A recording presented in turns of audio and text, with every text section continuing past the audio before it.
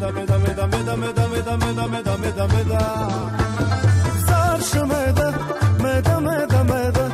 जी सो हम स्टार्ट करते हैं वक्त कम है मुकाबला सख्त है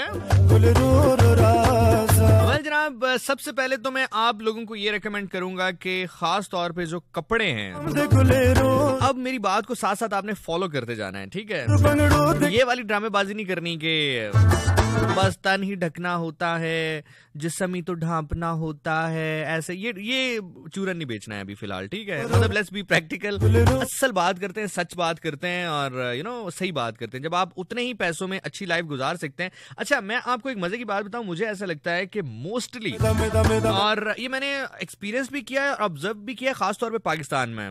पाकिस्तान में लोग इसलिए नहीं चीज़ों को अफोर्ड कर पाते कि शायद उनके पास पैसे नहीं है। वो इसलिए ज़्यादा नहीं कर पाते कि वो मैनेज सही नहीं कर रहे हैं। मतलब जैसे कल मैंने कहा कि मुझे कल किसी ने कहा कि जी आप कहते हैं कि ऑर्गेनिक खाना चाहिए शहद खाना चाहिए देसी घी खाना चाहिए आपको तो गिफ्ट आ जाता है। तो बाकी बंदे कहाँ से ये चीज़ करें? तो मैंने उनको बताया कि या तो आप भी पीआर इतनी बढ़ा लें। अब मैं कौन सा पैदा होते साल ही लोगों ने कहा था ये जी देसी घी ले लें शायद ले लें बच्चे ने बड़े होकर ये होना है। यू नो समझ रहे हैं मेरी बात को? तो अगर वो नहीं भी कर सकते तो जैसे फॉर एग्ज़ाम्पल ग्यारह सौ रुपए का शहद आता है तो आप बारह सौ का पिज्जा भी तो खा लेते हैं। तो पिज्जा ना चक खाओ। खुदा ही शहर ला लो। सही कह रहा हूँ गलत कह रहा हूँ? सही कह रहा हूँ ना. So that's what I am saying कि मैनेज हमारे यहाँ लोग गलत करते हैं। तो वो मैनेज बेसिकली मैं आपको शॉपिंग करना नहीं सिखाऊँगा। बेसिकली मैं आपको टिप्स आज दूँगा मैनेज करने की। वो कैसे मैं बताता हूँ।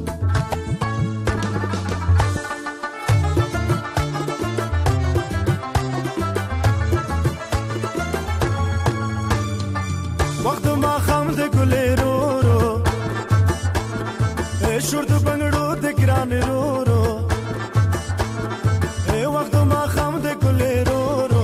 Shurd bangdo okay जी तो स्टार्ट करते हैं खास तौर पे जो आपका पहनावा है, जो आपके कपड़े हैं, वो आपने कोशिश करना है कि हमेशा अच्छे ब्रांड से लें मुस्तनद अथेंटिक ब्रांड से लें। अब ब्रांड्स हैं दो तरह के। अब इसको समझना बात को ठीक है? इसके ऊपर पूरी तुम्हारी जो इंडस्ट्री है ना ई कॉमर्स की भी कह सकते हो। ई कॉमर्स के अलावा इवन जो कॉमर्स इंडस्ट्री है जो लोग चीज़ें अपनी बेचते हैं जो इंडस्ट्रीज़ जो चीज़ तुम्हारी यू नो तुम्हें बेच रही हैं तुमसे पैसा बना रही है वो इन दो चीज़ों के ऊपर टिका हुआ है। अब वो क्या है वो मैं बताता हूँ तुम्हें। ब्रांड्स होते हैं दो तरह के। एक वो होते हैं जो क्वालिटी के लिए आप चीज़ें खरीदते हैं और दूसरे वो होते हैं जो रेप्यूटेशन बेचते हैं। मैं आपको मिसाल देता हूँ. आप फॉर एग्ज़ाम्पल सिटीजन की घड़ी लेते हैं। आपको मिल जाएगी सात हज़ार आठ हज़ार नौ हज़ार दस हज़ार पंद्रह हज़ार मैक्सिमम पच्चीस हज़ार पचास हज़ार। यही घड़ी अगर आप रॉलेक्स की लेने जाते हैं तो वो अगर आप मतलब प्रॉपर रॉलेक्स पहनते हैं तो लाख के बाद से अच्छी घड़ी जो उनका एक अच्छा पीस है वो स्टार्ट होता है एक लाख के बाद से। क्यों? क्योंकि रॉलेक्स ज़्यादा क्वालिटी से ज़्यादा उसकी एक रेप्यूटेशन है।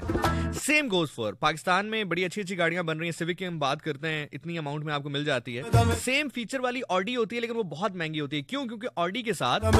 एक सिग्निफिसेंस क्या कहते हैं उसको यार? सिग्निफिसेंस सिग्निफिकेंस हाँ वो जुड़ी हुई है। रात के टाइम ना अंग्रेज़ी लफ्ज बड़े मुश्किल से निकलते हैं। तो एनीवे वो uh, एक रेपुटेशन जुड़ी हुई है। So what I am saying right now is कि आपने हमेशा जो ब्रांड चुनना है वो इसलिए चुनना है कि उसकी आपको ज़रूरत है। आपने रेपुटेशन के लिए ब्रांड नहीं चुनना है फ़िलहाल स्टार्टिंग में। स्टार्टिंग की बात कर रहा हूँ ठीक है? अब वो आपने रेपुटेशन के लिए कब चुनना है वो मैं आपको बाद में बताऊँगा वो टाइम आएगा। वो जब टाइम आएगा मैं आपको बताऊँगा वो आगे चल के अभी आएगा। तो फ़र्स्ट ऑफ़ ऑल आपने फॉर एग्ज़ाम्पल अगर आप एक शर्ट खरीद रहे हो मे बी नॉर्मल जो लोकल शर्ट है वो बारह तेरह सौ रुपए की खरीद रहे हो। और ब्रांड से आपको नॉर्मल अगर हम ब्रांड्स की बात करते हैं जो पाकिस्तान में मौजूद हैं तो नॉर्मल शर्ट स्टार्ट होती है, अगर न्यू अराइवल पे हो तो तीन हज़ार पैंतीस सौ, बत्तीस सौ की यानी कि तकरीबन दो हज़ार रुपए का फ़र्क आता है, ठीक है लेकिन उससे फ़ायदा ये होता है कि वो लॉन्ग लास्टिंग है आप एक दफ़ा उसको बाय करोगे ना. तो आप जो हज़ार वाली शर्ट महीने में तीन दफ़ा खरीद रहे हो, वो आपको नहीं खरीदनी पड़ेगी वो महीने में एक शर्ट ही आपकी चल जाएगी, वो इतनी अच्छी होती है. लेकिन अब लोग कहेंगे, यार, तीन हज़ार रुपए की हम शर्ट खरीद लें, ये तो बड़ा महँगा स्टफ़ नहीं है, बिल्कुल अब आती है वो मैनेज वाली टिप जो मैं आपसे कह रहा हूँ. ये ब्रांड्स बेसिकली क्या करते हैं, ये न्यू अराइवल कह के जो उनका जो न्यू डिज़ाइन होते हैं ना. उनको तकरीबन कोई पंद्रह से बीस दिन ही रखते हैं मार्केट में जैसे ही वो डिज़ाइन आते हैं, बीस दिन उनके ऊपर कोई सेल नहीं होती है आप नोट कीजिएगा, बीस से पच्चीस दिनों के बाद ये थर्टी परसेंट ऑफ़ लगा देते हैं या फिफ्टी परसेंट ऑफ़ लगा देते हैं, उसकी वजह है पाकिस्तान में कुछ ऐसे लोग भी मौजूद हैं जो सिर्फ़ और सिर्फ़ विदाउट सेल चीज़ें इसलिए खरीदते हैं ताकि वो लोगों को बता सकें कि हमने सेल से नहीं लिया उस वक्त इस पे ऑफ़ नहीं लगा हुआ था जब मैंने खरीदी है। मैंने तब खरीदी है जब ये न्यू अराइवल पे आई थी। समझ रहे हैं? और वो लोग कोई इतने ज़्यादा नहीं है कम है पाकिस्तान में इतने ज़्यादा नहीं है लेकिन है ज़रूर। फ़ैशन ट्रेंड तब्दील होगा। ना उनके डिज़ाइन तब्दील होंगे ये भी मैं आपको बता दूँ। आपको लगे ना कि पंद्रह से बीस दिन के बाद शायद वो कुछ और जो है मार्केट में ले आएँगे या आपको मिलेगा नहीं ऐसा नहीं होगा। क्योंकि पंद्रह से बीस दिन में वो लोग भुगता लेते हैं वो लोग जिन्होंने सिर्फ़ और सिर्फ़ इसलिए चीज़ें उनसे फुल अमाउंट में खरीदनी होती हैं।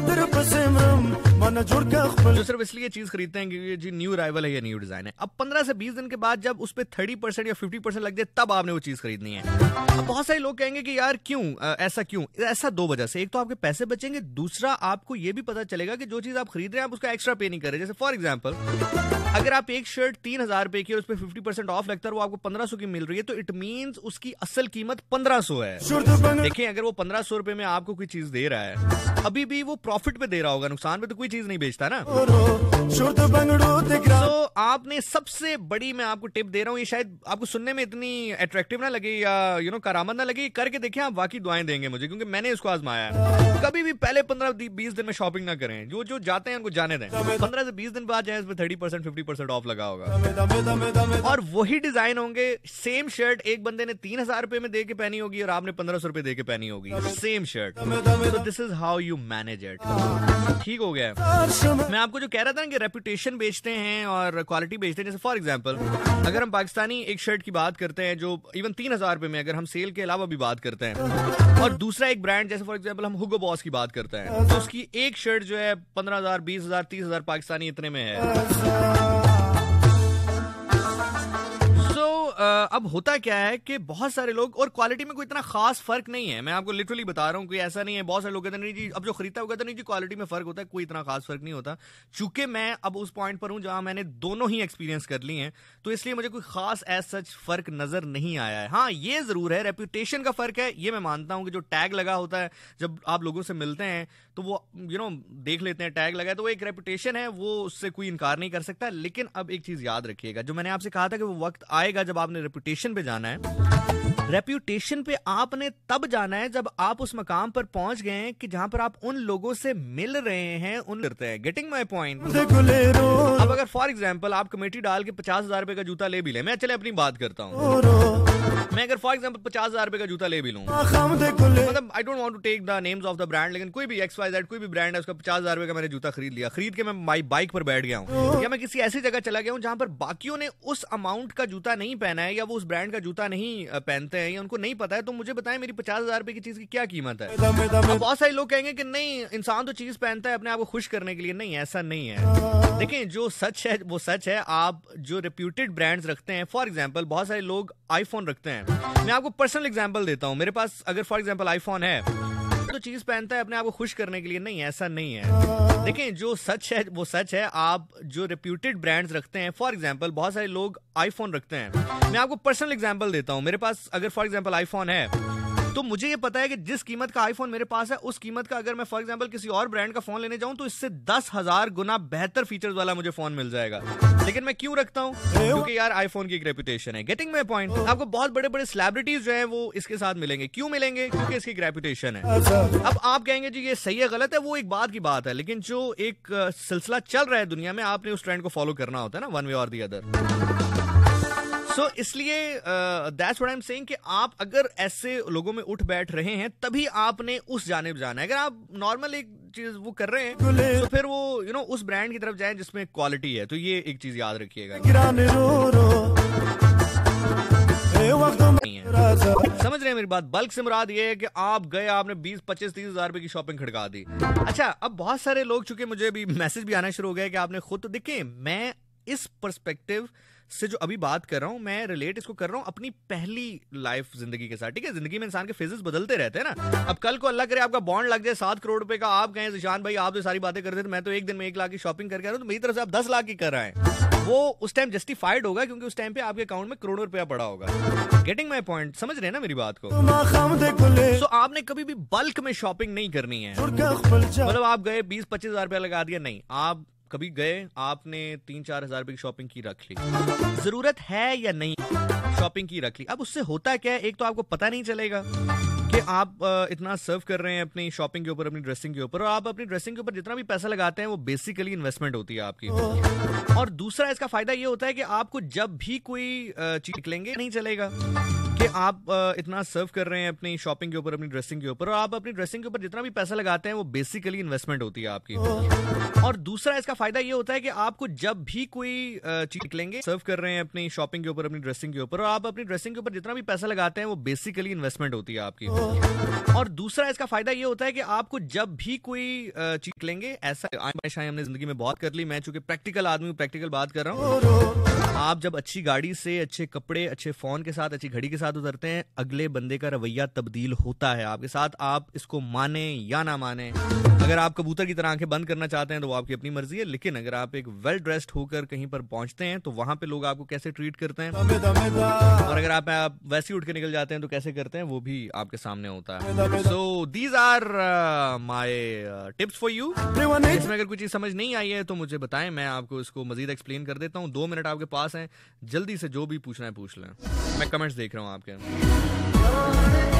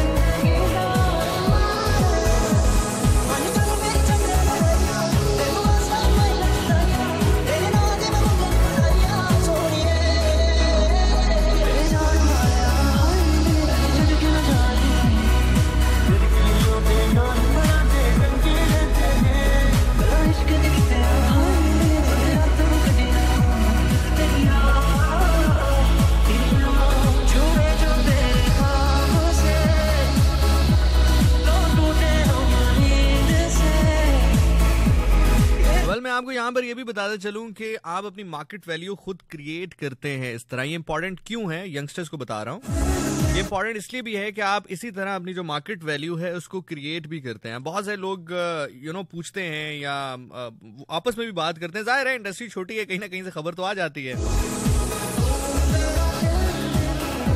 आप सिलेक्टिव काम कब कर सकते हैं? आप सिलेक्टिव काम हमेशा याद रखिएगा कि आप अगर कम काम करना चाहते हैं वो आप सिर्फ़ तब कर सकते हैं जब आप थोड़ा काम करके ज़्यादा पैसा बना रहे हो।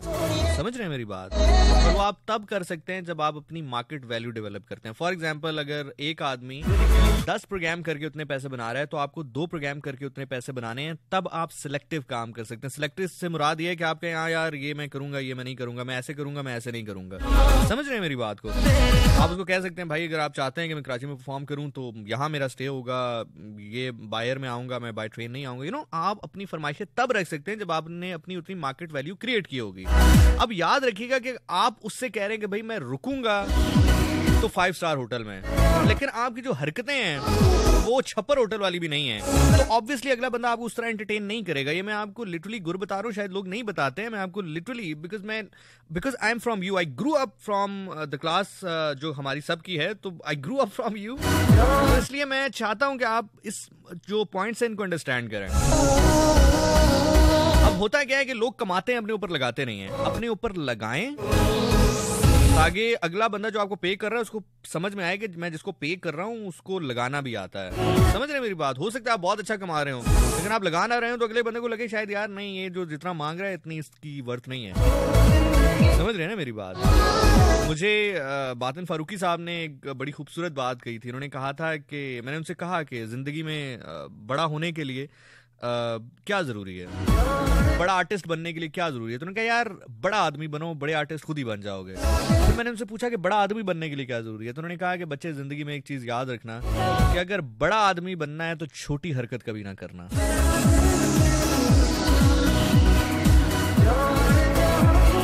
आपको लिटरली एक बात बताऊँ कि मैं भी रिसेंटली जब कराची गया तो I was staying at five star hotel तो उसमें ना बाथरूम बड़ा मज़े का था उनका। बाथरूम आपको पता है ना वो वो जो तोलिए वाला पूरा एक वो होता है। तो आप यकीन करें, ज़ाहिर है मैं इंसान हूँ। मैंने कहा, यार, अगर बैग में बंदा डाल ले तो पता तो नहीं चलेगा इनको। तो अचानक मेरे जो कान है, उसमें ये बात गूंजी अगर बड़ा आदमी बनना है तो छोटी हरकत ना करो।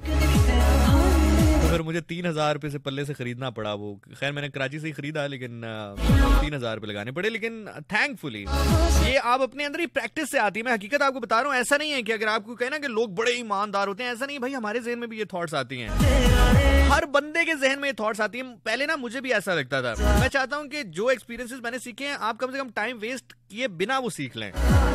हालाँकि मुझे पता है कि खाकर बंदा ठोकर ही वापस आता है, आप लोगों ने माननी नहीं है, लेकिन मैं आपको जनरली बता रहा हूँ कि हम सबके जहन में, दिलों में बातें आती हैं इंक्लूडिंग मी मैंने आपको देखें कितनी बड़ी हकीकत बताई अभी। लेकिन आप प्रैक्टिस करते रहे करते रहे ना तो ये समझ में आ जाती है बंदे को। बड़ा आदमी बनना है तो छोटी हरकत ना करें कभी।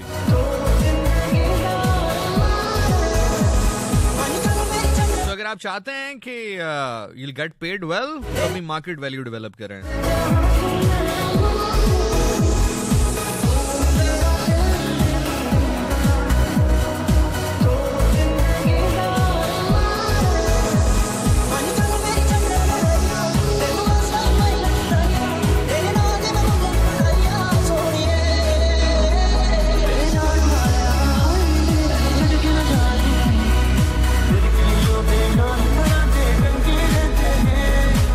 होप कि जी इससे फाका होगा आपको। बाकी इसके अलावा अगर आपकी अपनी टिप है आप उस पर अमल करते हैं तो ज़रूर करें। आ, मेरी अगर फजूल लगे तो छोड़ दें। लेकिन मेरे पास ये एक्सपीरियंस था और आप चूँकि पूछ भी रहे थे कल से तो मैंने कहा चले मैं शेयर कर दूँ। आई होप कि इससे फाका होगा एक दफ़ा करके देखिएगा। बहुत मज़ा आएगा आपको। मुझे भी बहुत मज़ा आएगा आपको भी बहुत मज़ा आएगा। छोड़ दो यार मुझे छोड़ दो यार। एनी anyway, अपने सेलफोन के राइट ऑप्शन में जाए। वहाँ पर लिखे one zero one space message send करें। आप उसको डबल फोर सेवन वन पे। चार हज़ार चार सौ इकहत्तर के ऊपर आप जो है वो सेंड करेंगे। वालेकुम जी, किरण फ्रॉम गुजर खान। आपने बहुत अच्छी टिप्स दी हैं। सलाम लाला आई एम माही बंगश। कभी पारा चना रहा हो ना? नहीं यार, बहुत ठंड होती है वहाँ पर अस्सलाम जी शान मैं दुरे नजफ हूँ। भाई, आप बहुत इनोसेंट हैं मैं आपको पहली बार देखा पिक में अच्छे लगे, आप शो तो बहुत ही कमाल करते हैं, मारिया बासी, देख ले मैं इनोसेंट हूँ हाँ। सलाम भाई, कैसे हैं आप? शो तो बहुत सुपर होता है आपका मैसेज बहुत कम पढ़ते हैं आप। अली बलोच हमारे साथ हैं, पाक आर्मी से फ्रॉम मीरपुर। इस्लाम मदद ब्रो नाइस शो भाई, रात का कसीदा सुना दें, बहुत सुकून मिला है। जी, मैं बिल्कुल प्ले कर देता हूँ। Hey Jishu I am Hira from Lahore I am your big big big fan hey Hira I am Zeeshan how are you अस्सलाम वालेकुम sir I am listening you after long time due to study burden I hope you will be fine I am Kiran Riaz from Mandi Bahauddin Kiran Raheel is saying hey Zeeshan hey Kiran हमारे king मासूम आर्चे आप तो कमाल हैं. चले जी thank you so much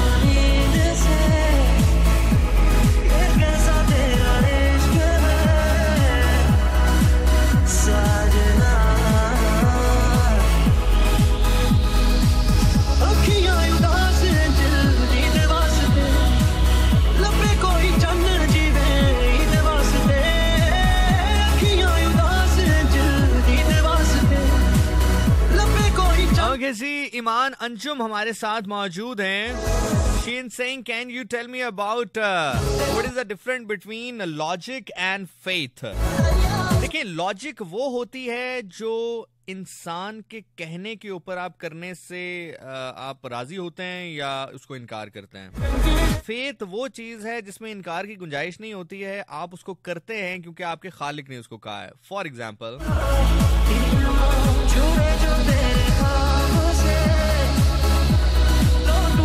हज़रत इमाम अली सलाम से अल्लाह के नबी सल्लल्लाहु अलैहि वसल्लम ने कहा कि आप मेरे बिस्तर पर लेट जाएँ।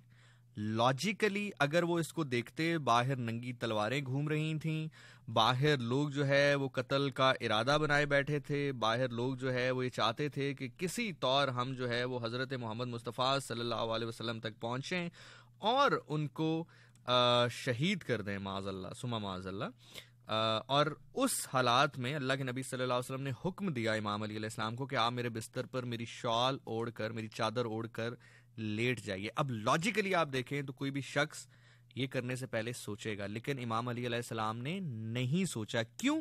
क्योंकि उनको, उनकी बात पर ईमान था फेत था। उन्होंने कहा करना है तो कर लिया। क्यों? क्योंकि वो बात जानते थे कि अल्लाह के नबी सल्लल्लाहु अलैहि वसल्लम खुद से कुछ नहीं कहते, वो जो कहते हैं अल्लाह उनसे कहता है। तो इट मींस जो आपका खालिक आपको कह रहा है, उस पर आपने फेत रखना है। जब आप कहते हैं कि मेरा ईमान है मेरा जो ईमान है, अल्लाह उसको सलामत रखे तो बेसिकली जब आपका ईमान है खुदा पर तो खुदा की ज़ात पर ईमान होने से जो मुराद है, वो ये है कि उसका जो हुक्म है, आपको उस पर उस पर भी ईमान हो। जैसे फॉर एग्ज़ाम्पल अल्लाह फरमाते हैं तो मेरी राह में एक रुपया दोगे, मैं उसको दस गुना ज़्यादा करके दूँगा। अब लॉजिकली अगर आप लॉजिकली बैठ के देखें तो आप शायद प्लस माइनस ही करते रहेंगे कि मेरे से तो एक रुपया जा रहा है तो मुझे दस गुना ज़्यादा कैसे मिल जाएगा?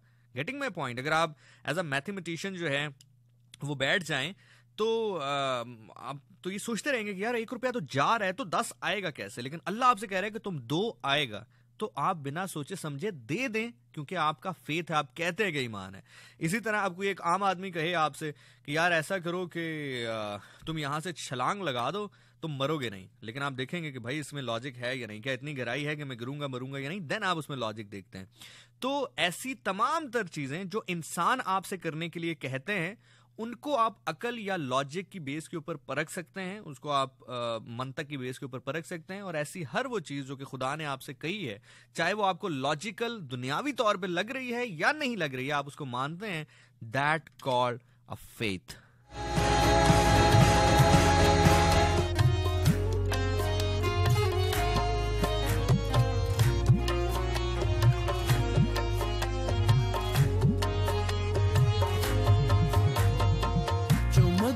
सारे खाको दे दर्दी। हाय हाय। या जम जम नायो बिस्मिल्लाह।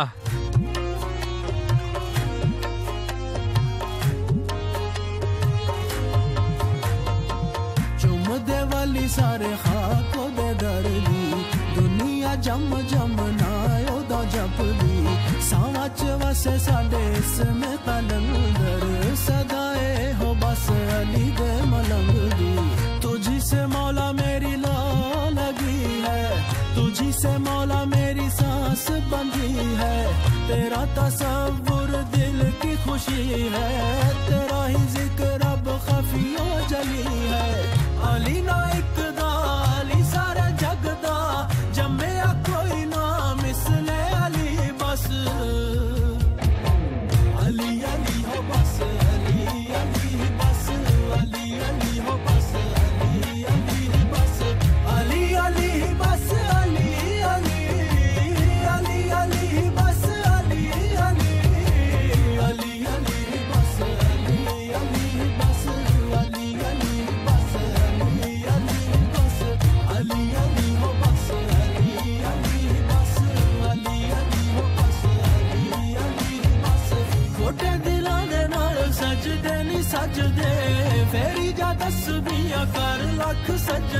ओके जी अमीर मोहम्मद ने मुझसे एक सवाल पूछा था I guess last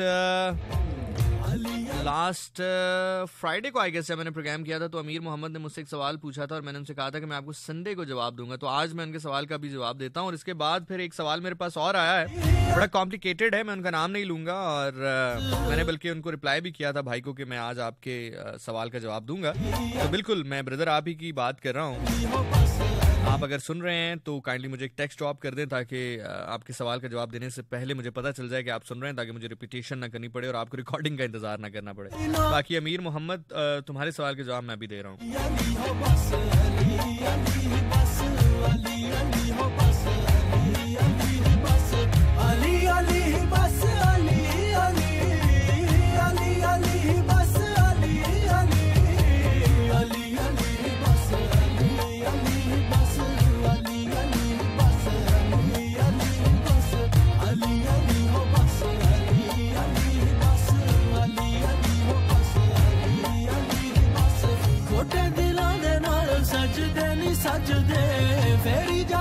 आमना ज़फ़र ने एक बड़ा मज़े का सवाल किया है कि आपकी उम्र अट्ठाईस उनतीस साल है तो अट्ठाईस उनतीस साल की उम्र में पचास साल वाला एक्सपीरियंस आपके पास कैसे आता है? ये तब आता है कि जब आप अठारह उन्नीस साल के हों और उस उम्र में आपने पचास साल के लोगों के साथ काम किया हो, पचास साल के लोगों के साथ कम्पीट किया हो तो फिर आप उनके बिज़नेस जो उनका माइंड का बिज़नेस होता है, आप उसको समझ पाते हैं। उनका जो एक्सपीरियंस है, उसको समझ पाते हैं। ये तब होता है कि जब आपकी उम्र तेईस साल हो और आप एक कंपनी के बोर्ड ऑफ़ डायरेक्टर मुंतखब किए जाएँ, जबकि बाकी जो तीन बोर्ड ऑफ़ डायरेक्टर हैं, उनकी उम्र पचास साल से ज़्यादा हो और आपकी उम्र, उनकी आधी उम्र से भी कम हो। और सबसे बढ़कर ये तब होता है जब अल्लाह पाक पर आपका करम हो। आप यकीन जानिए। अल्लाह पाक जब आप पर करम करते हैं इमाम जाफ़र सादक सलाम का एक बहुत ही खूबसूरत कॉल है। उन्होंने फरमाया कि एक वो इल्म है जो तुम सीखते हो, पढ़ते हो, और एक वो इल्म है जो अल्लाह ने तुम्हारे अंदर पोशीदा करके रखा है। खुदा से दुआ किया करो कि तुम्हारे अंदर के दिल के ताले खोल दे। तो जब अल्लाह ताला आप पर करम करते हैं ना तो अल्लाह ताला करम करने का कोई ऐसा तरीका नहीं है, करम कोई ऐसी चीज़ नहीं है कि जो फ़िज़िकल है, वो आपके लिए आसमान से उतरते हो कहते हैं, ले जी, ये करम है। जब कर्म आपके ऊपर होता है तो वो डिफरेंट वेज में होता है। कभी अल्लाह ताला आपको दुनिया के राज से आशना कर देता है, कभी वो आपको अपनी जो बादशाहत है, उसका नज़ारा करवा देता है, कभी वो आपको अपने निज़ाम का नज़ारा करवा देता है, कभी वो आपकी मेहनत में अपनी रहमत शामिल कर देता है, कभी वो आपके जहन के, दिल के दरवाजे खोल देता है, आप पर इल्म को जो है वसी कर देता है। ये अल्लाह के कर्म की निशानियाँ हैं। तो इंसान सोचता है कि बहुत कुछ उसकी वजह से हो रहा है, उसकी वजह से नहीं होता है। जो होता है, अल्लाह की जात के कर्म से होता है, लेकिन होता तब है जब आप करना चाहें। ये पॉइंट बड़ा यहाँ पर बारीक है और स्ट्रांग है। होगा तभी, होता तभी है जब अल्लाह ने कर्म करना हो। लेकिन होता तब है जब आप उठते हैं। अल्लाह ने आपको रोटी देनी है, लेकिन तब तक नहीं देगा जब तक आप उठेंगे नहीं, बाहर नहीं जाएँगे। चाहे आप सारा दिन भी अल्लाह अल्लाह अल्लाह अल्लाह अल्लाह अल्लाह करता रहे। नहीं आएगी। जब तक आप उठ के बाहर नहीं जाएँगे, आप उठ के बाहर चले गए, आपने अपने हिस्से का काम कर दिया, अब बाकी काम अल्लाह के जिम्मे है। ना ही नबी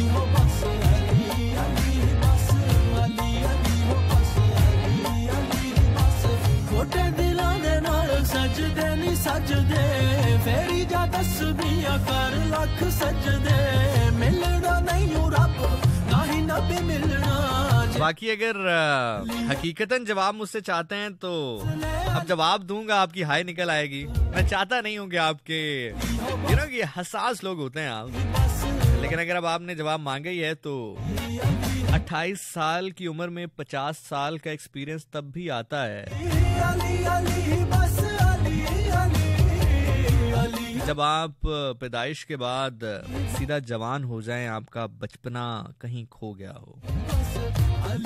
आप बच्चे रहे ही ना हो, बचपना आपके ऊपर आया ही ना हो। आप सीधा लड़कपन और फिर अधेड़ उम्री की जानब सफ़र शुरू कर दें। ये एक्सपीरियंस तब भी आ सकता है कि जब आपकी मोहब्बत करने वाली वो लड़कपन की जो उम्र है, वो इंटरव्यूज़ देते या इंटरव्यूज़ लेते गुजरी हो। ये एक्सपीरियंस तब आता है लव लेटर्स लिखने या मौसूल करने के वक्त या जमाने में आप सीवीज या प्रपोजल लेटर्स लिख रहे हो। जॉन एलिया सरकार फरमाते हैं कि मत पूछो कैसे गुजारी है हमने। मत पूछो कैसे गुजारी है हमने। ज़िंदगी गुजरी मुझ पर, गुजार दी हमने।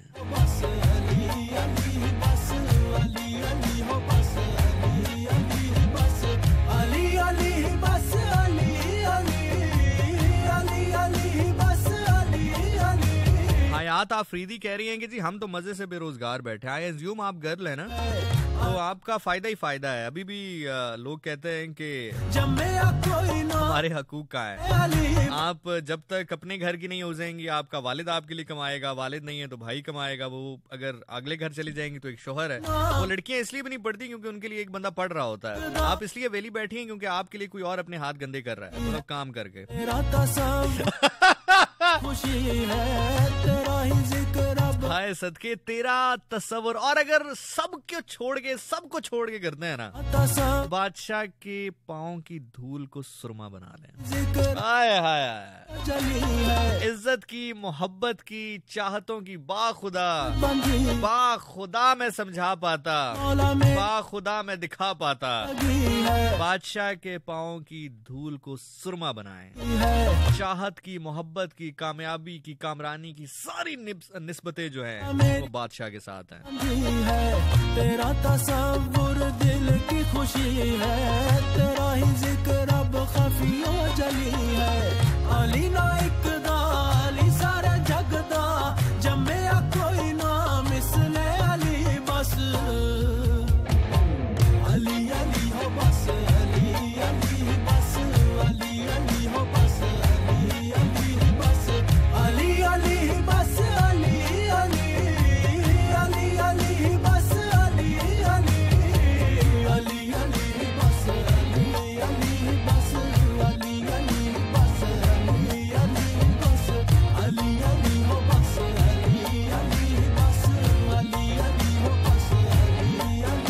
मुजना मुझसे पूछ रही है, जिशान औरत कैसे अमीर और प्यारी लग सकती है वो बता दें। देखिए, ना तो मैं औरत हूँ, ना मैं प्यारी हूँ और ना मैं अमीर हूँ। तो ये तीनों चीज़ें मेरे अंदर नहीं है। तो ये आप किसी ऐसी औरत से पूछें जो कि अमीर भी हो, प्यारी भी हो और औरत भी हो।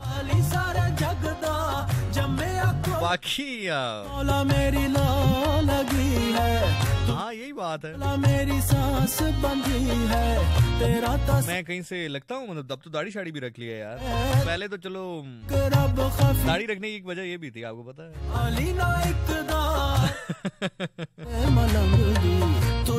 मौला मेरी ला लगी है तुझी से मौला मेरी सांस बंधी है तेरा तस्वुर दिल की खुशी है तेरा ही ज़िक्र अब खफियों जली है। अली ना इकदा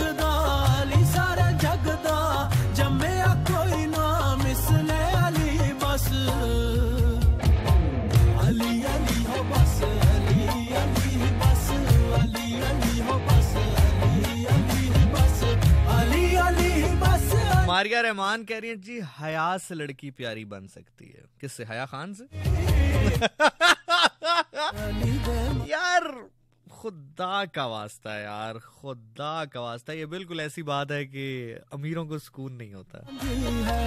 मैं, अब मैं ये नहीं कह रहा कि ये इंपॉर्टेंट नहीं है ये इंपॉर्टेंट है लेकिन चलें फॉर एग्ज़ाम्पल चलें डन किया जी। मारिया अब आपने अल्लाह को हाजिर नाजिर रख के जवाब देना है आपका अगर भाई है क्या आप किसी ऐसी जगह पर शादी करेंगी जहाँ पर लड़की जो है वो बजाहिर देखने में कोई बहुत ज़्यादा अट्रैक्टिव नहीं है? या बिल्कुल ही अट्रैक्टिव नहीं है लेकिन हयादार बहुत ज़्यादा है।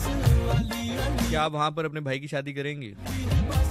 आ, वो अमीर नहीं है पैसा नहीं है उनके पास कुछ भी नहीं दे सकते। एक सूट के साथ आपकी जो भाभी है ये क्या हो रहा है? अच्छा कछुआ है।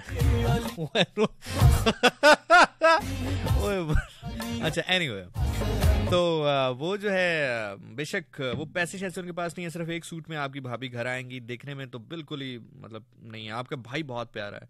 क्या आप वहाँ पर शादी करेंगी? हयादार बहुत है। अब मुझे पता है आप कहेंगे हाँ जी, कर देंगे, लेकिन एक दफ़ा जरा अम्मा से या भाई से पूछ के देखिएगा। आई एम नॉट सेइंग कि हया ज़रूरी नहीं है, या आई एम नॉट सेइंग कि सिर्फ़ खूबसूरत होना ज़रूरी है बट आई एम सेइंग कि हर चीज़ की ज़रूरत है। अच्छा हमारे यहाँ पता क्या है? हमारे यहाँ मसला ये है कि अल्लाह ताला ने हमें जब डिज़ाइन किया तो चूँकि अल्लाह ने हमें बनाया तो उसने हमें एक एक चीज़ जो हमारा फ़ंक्शन है, वो अल्लाह ताला को पता है। अल्लाह को पता है कि हमें क्या क्या चाहिए तो अल्लाह ताला ने उस हिसाब से हर चीज़ हमारे लिए दुनिया में उतारी। लोग पता है नहीं जी, ये ज़रूरी नहीं है। भाई ज़रूरी ना होता तो अल्लाह ही ना उतारता अली समझ रहे मेरी बात को? बहुत सारे लोग जी मेरी लाजमी तो नहीं है ना कि जी, हम ये चीज़ ऐसे हो तो ऐसे। भाई, अल्लाह ने जब एक चीज़ उतारी फॉर एग्ज़ाम्पल। ये लाजमी तो नहीं है कि बंदा जो है वो शादी करे ही करे। अगर ऐसा ना होता तो देखें, बात ये है, अब ये दूसरी चीज़ है कि आप शादी ना करें दूसरे रिलेशन में रहकर अपनी जरूरियात पूरी करें। अब वो हराम हलाल वो आपका अल्लाह का मामला है। लेकिन इट मीन्स कि you have the need but you going with the wrong way अल्लाह ताला क्या कह रहा है कि तुम अपने जो नीड्स हैं उसको चैनलाइज कर लो। तो ये ना कहें कि you don't need it you should say कि the way which Allah wants. बुर दिल की खुशी तो इसलिए हर चीज़ ज़रूरी है। बाकी सारी बातें छोड़े। यार अल्लाह के नबी सल्लल्लाहु अलैहि वसल्लम फरमाते हैं। जब तुम किसी औरत से निकाह करो उसकी खूबसूरती देखना चाहो देख सकते हो। मतलब देखने से मुराद ये कि अगर तुम चाहो कि जिससे तुम निकाह कर रहे हो, अगर खूबसूरती की वजह से करना चाहो, कर सकते हो, मालो दौलत की वजह से कर सकते हो, हसब नसब की वजह से कर सकते हो, उसके खानदान की वजह से कर सकते हो, और बताएँ। अल्लाह के नबी फरमा रहे हैं, क्यों? क्योंकि ये हमारे अंदर बिल्ट इन है। अब उससे होगा क्या कि अगर तरस खा के आप किसी ऐसे बंदे से शादी कर भी लोगे जिसपे आपने तरस खा के शादी किया बाद में तीन चार महीने के बाद आप उसको ताने देते रहोगे सारी ज़िंदगी तानों में काट देगी बेचारी। इवन बेचारा। अगर आप किसी लड़के से भी शादी करोगे तरस खा के, वो बाद में आप उसको ताने दे दे के मार मार दोगे। तो इसलिए प्लीज़ जरा इन चीज़ों से बाहर निकलो। अब हया जेवर है बिल्कुल है इसमें कोई दूसरी राय नहीं है। कोई दूसरी राय नहीं है। लेकिन आ, सारी चीज़ें मिलकर इंसान को बनाती हैं। दुनिया जम जम नायो दा सावच वसे साडे इसमें तलंगर सदाए हो बस अली दे मलंग दी। तुझसे मौला मेरी ला तुझी से मौला मेरी सांस। मारिया रहमान कह रही भाई मैंने भाई की शादी ऐसी ही जगह की है लड़की को एंगेजमेंट के दिन देखा है रिश्ता मैंने ही करवाया। अच्छा भाई को आपने लड़की एंगेजमेंट वाले दिन दिखाई खुद आप फेसबुक पे रात एक बजे बैठकर मैसेज कर रही हैं। पहली तो ये चीज़ हो गई। दूसरी बात ये अभी भी आपने एंगेजमेंट वाले दिन दिखा दिया एंगेजमेंट कोई ऐसा रिलेशन नहीं है जिसको तोड़ा ना जा सकता हो। इधर तो लोग निकाह से पहले नहीं दिखाते। हमारी जो कोऑर्डिनेशन टीम है वो आ, मेरी बात को सराह रही है। क्या बात है। चले अच्छा है। इसका मतलब मैं सही बात कर रहा हूँ ना? दुनिया जम जम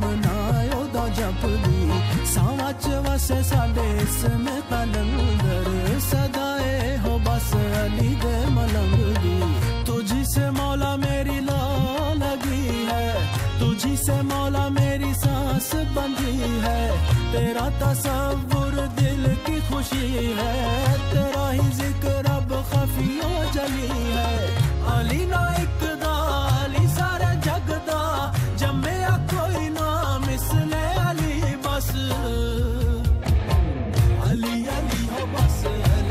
अच्छा मारिया कह रही है भाई उन्होंने नहीं देखी थी मैंने देखी थी। आपको पता है ये आपने शरयन भी गलत किया कानूनन भी गलत किया है। आपने शादी करनी थी उसके साथ। अब असूलन अपने भाई को राइट देना है कि वो आपका शोहर चुने। और भाई नु मेरे नाल गल करावी मैं चंगा साढ़े कोल है एक बंदा। मुच्छा उन्हें हुने हुने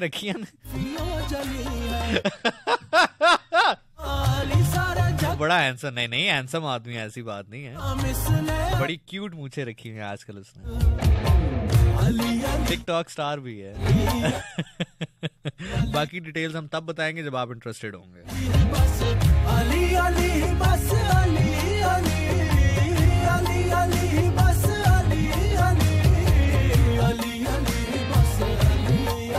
दुरे नजफ कह रही हैं हैप्पी बर्थडे कह रही हैं, आज मेरी birthday happy birthday Dure Najaf, खुदा के वास्ते आप साइड पे होके बैठ जाना, कोई आगे से गलत बात ना करना। अच्छा जी, अमीर मोहम्मद भाई फरमाते हैं कि दुनिया जम जम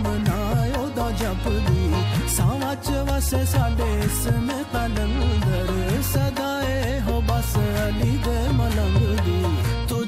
मौला मेरी ला लगी है। तुझसे मौला मेरी सांस बंधी है। तेरा तस्वुर दिल की खुशी है। तेरा ही ज़िक्र अब खफिया जली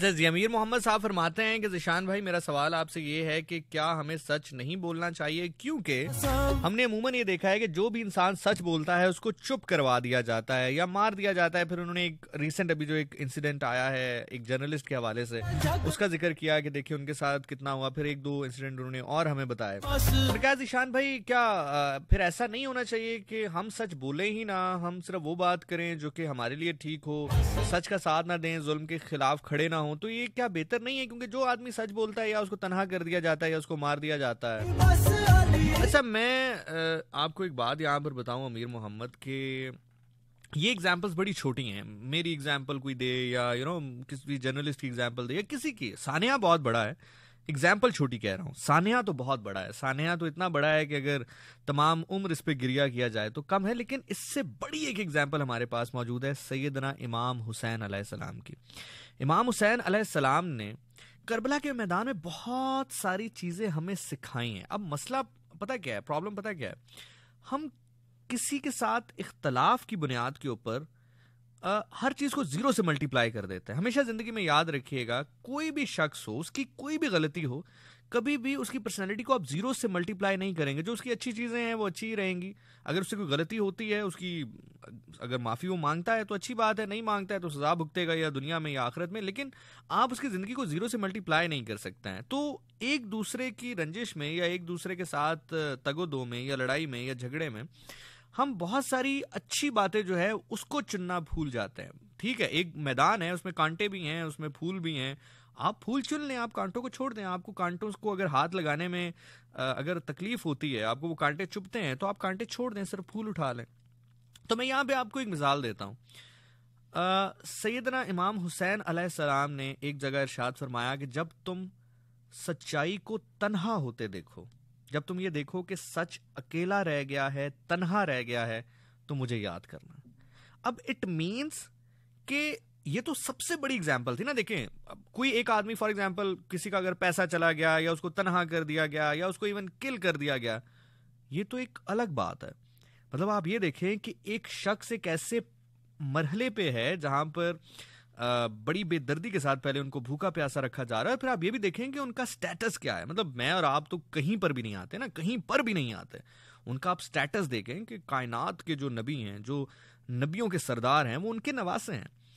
तो आप यहाँ से अंदाज़ा लगाएँ कि उनको पहले भूखा रखा जाता है, प्यासा रखा जाता है मतलब जिनके लिए कौसर उतारी गई। जो कौसर के मालिक हैं, उनको आम पानी जो है वो नहीं दिया जाता। साथ से दरिया बह रहा है, ऊँट पी रहे हैं, घोड़े पी रहे हैं, लेकिन उन पर पानी बंद है। तो पहले तो आप ये देखें कि उनको किस अजियत के साथ रखा जाता है। फिर आ, उनके जवान बेटों पर जुल्म फिर उनके भाई पर जुल्म किस तरह की मतलब आप सभी जानते हैं I don't want to go in the detail क्योंकि ज़ाहिर है मुद्दा इस वक्त कुछ और है। बात आपको इस वक्त जो मुद्दा है वो इस वक्त आपको समझाना मकसूद है। फिर उनके भाई की शहादत फिर उनके छः माह के बच्चे की शहादत फिर उनकी अपनी शहादत फिर उसके बाद जो मामलात रहे सैयदादियों के साथ पाक बीबियों के साथ तो आप ये देखें कि इतना जुल्म सहने के बाद भी जो इमाम हुसैन अलैहिस्सलाम प्रीच कर रहे हैं, जो हमें बता रहे हैं, वो यही बता रहे हैं कि देखो इस हद तक, देखें, इमाम हुसैन अलैहिस्सलाम के बाद कोई भी सच बोलने की पदाश में बड़े बड़े लोगों के साथ जुल्म रहे होंगे, उनको कत्ल भी कर दिया गया होगा, और भी बड़े मामला रहे होंगे, लेकिन इतनी बेदर्दी, इतनी बेरहमी किसी के साथ ना की गई, और मेरा ख्याल से ना शायद कभी की जाएगी। करबला भी एक ही थी और इमाम हुसैन अलैहिस्सलाम भी एक ही थे। तो बात यहाँ पर यह है कि इतना सब कुछ होने के बावजूद भी इमाम हुसैन अलैहिस्सलाम प्रीच क्या कर रहे हैं, बता क्या रहे हैं, वो ये इरशाद कर रहे हैं कि जब भी तुम तनहा होते देखो, अकेले होते देखो सच को, और तुम्हारे जहन पर कहीं पर यह आए कि क्या मैं दूसरा रास्ता तो इख्तियार नहीं कर सकता, तुम मुझे सोच लेना, तुम मेरा तस्वर कर लेना, ताकि तुम्हें फिर से तुम्हारा जो मुराल है वो बंद हो कि एक ऐसी शख्सियत भी गुजरी है जिसने मेरे साथ तो अभी इतना मसला नहीं हुआ। मेरा तो चलो सोशल बाइकआउट हो गया होगा या पैसों का मामला हो गया होगा यू नो इस तरह के छोटे मोटे मामला लोगों के साथ होते रहे होंगे। लेकिन जब आप ये सोचेंगे कि यार, मेरे साथ तो सिर्फ़ इतना हुआ, लेकिन एक शख्सियत ऐसी भी गुजरी है कायनात में, जिसके साथ इतना तवील जुल्म हुआ, लेकिन वो सच्चाई से पीछे नहीं हटा। तो एक तो ये चीज़ ज़िंदगी में याद रखना कि इमाम हुसैन ने ये प्रीच किया है। उसके बाद अब स्टेप बाय स्टेप हम ऊपर जाते हैं।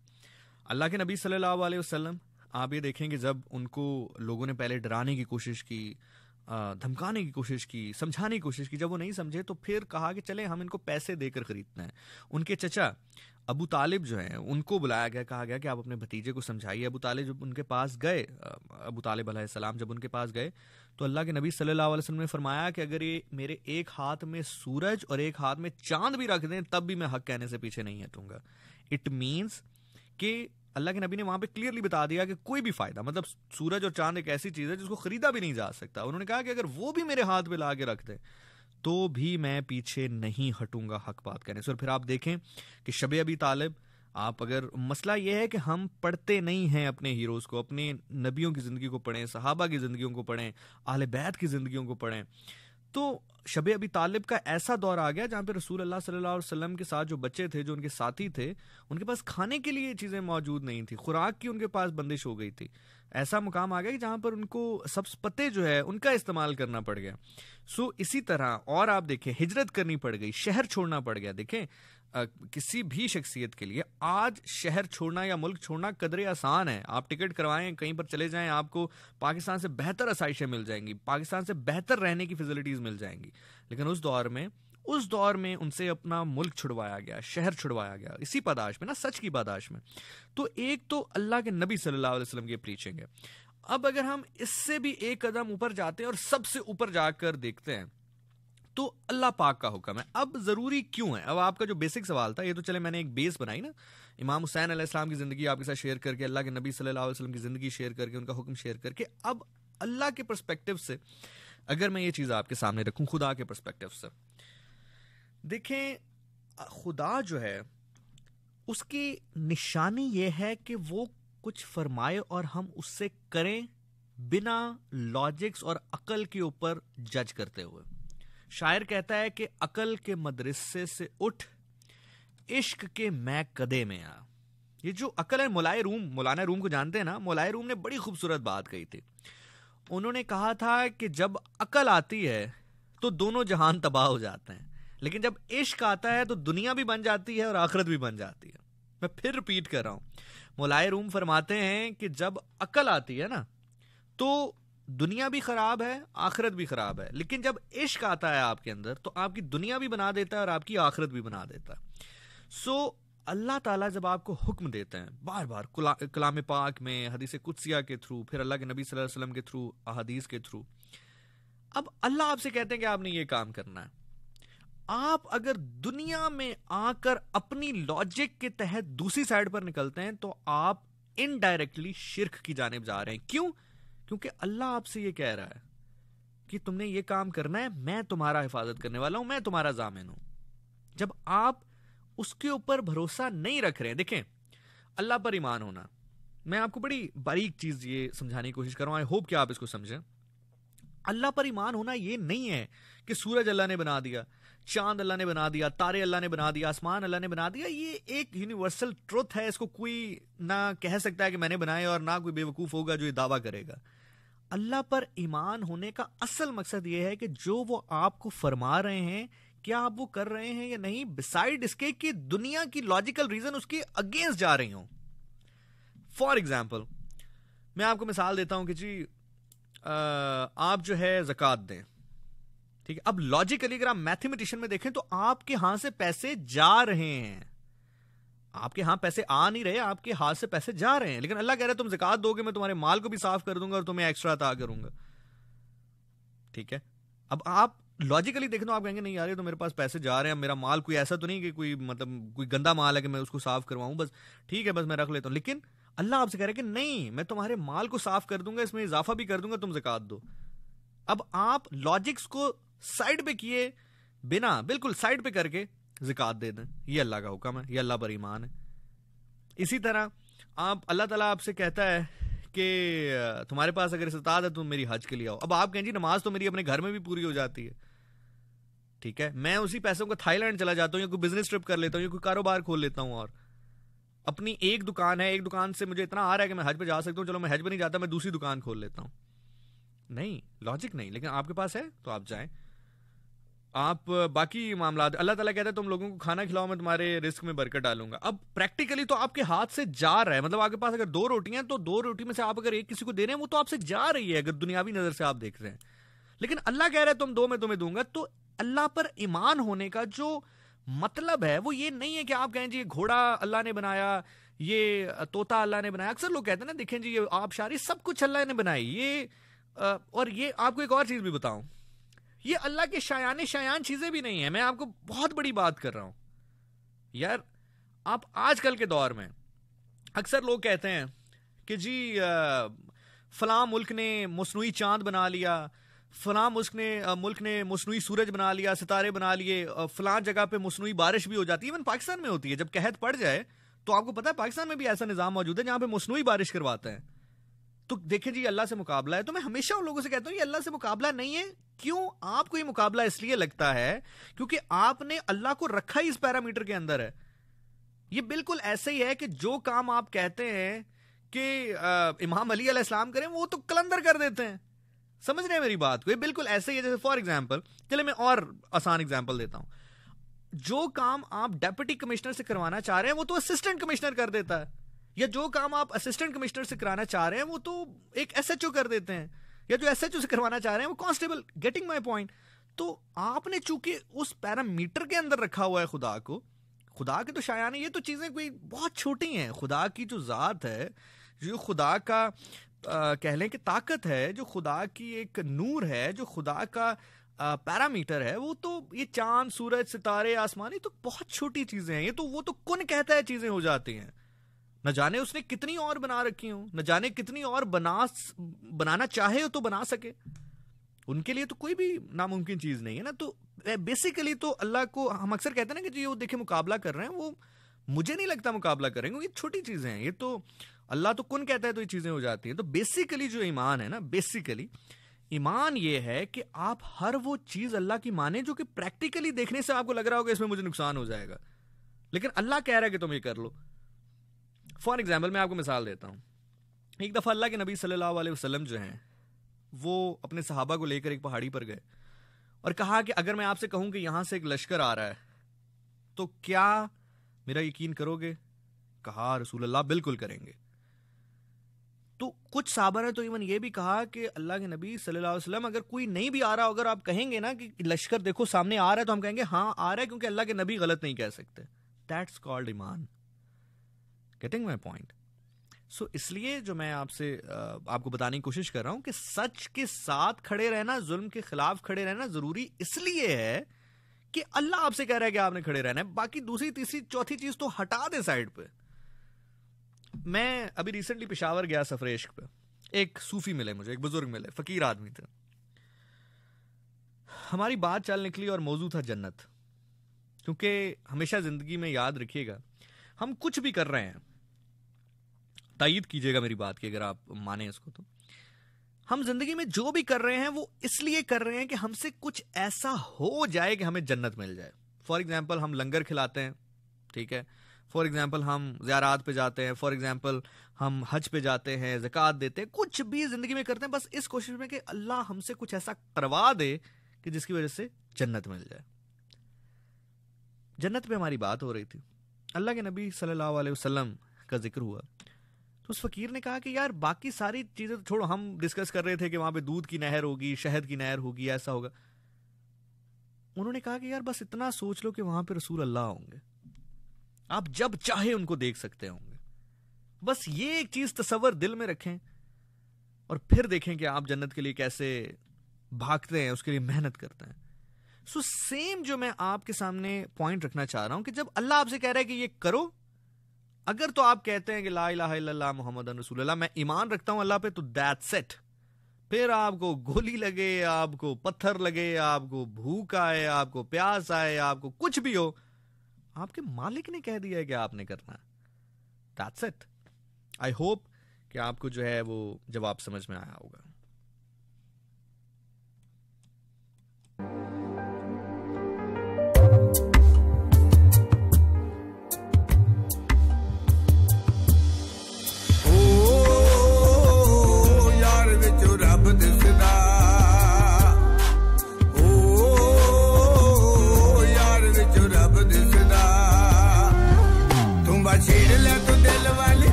ਵੇਖਣਾ ਏ ਮੁੱਕ ਸੋਹਣੇ ਯਾਰ ਦਾ ਯਾਰ ਜਿੱਥੇ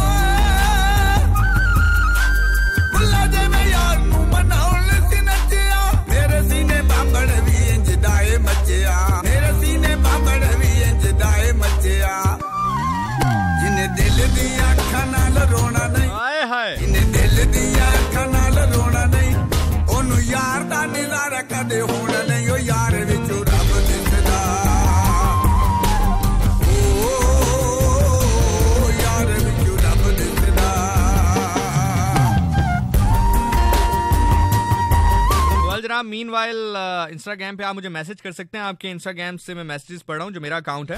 अगर आप मुझे ढूंढना चाहते हैं फॉलो करना चाहते हैं तो you are more than welcome Zeeshan Nasir लिखे, मैं आपको मिल जाऊँगा, और वहाँ पे आप मुझे मैसेज कर सकते हैं। वहाँ से आपके मैसेजेस बराह रास्त हम कर रहे हैं प्रोग्राम में शामिल। आप अगर मुझे ढूंढना चाहें तो जिशान नासिर लिखें एग्जैक्ट यूज़र आईडी चाहिए तो Z double E S H A N N S I R two six Zeeshan Nasir two six Zeeshan Nasir twenty six that is exact ID यहाँ पे मुझे अभी मैसेज करें, मैं आपके मैसेजेस अभी बर रास्त प्रोग्राम में शामिल कर रहा हूँ।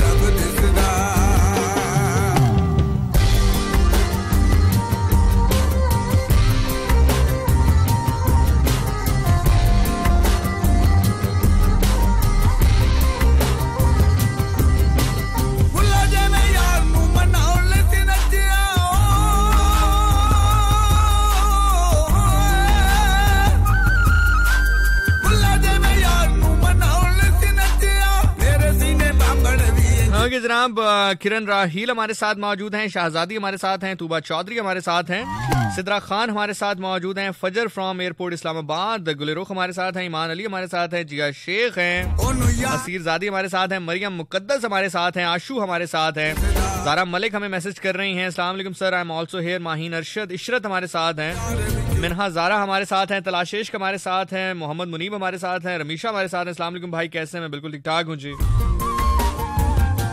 रहीन खान हमारे साथ है। अगर किसी की बातें बहुत बुरी लगें और दुख दें तो ये कैसे भुलाई जाए?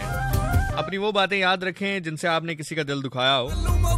ईमान अंजुम हमारे साथ है कह रही हैं thank you ji. I got my answer thank you जी. निमरा मुगल हमारे साथ मौजूद है। इरसा नज़ीर हमारे साथ है। रियल अकाउंट में मिल आ, नहीं मिल रहा आपका बेटा। इरसा यही रियल है।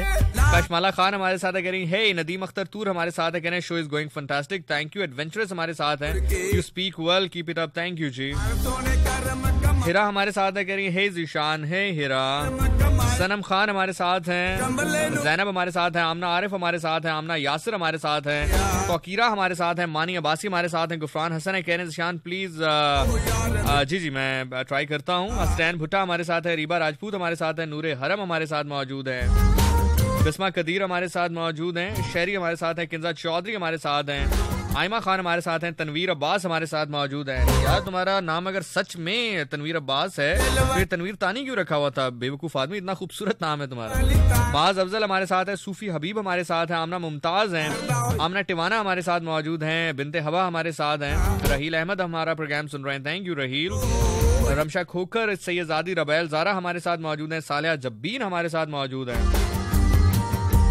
लाइबा हमारे साथ हैं मरियम फोटोग्राफी हमारे साथ मौजूद हैं।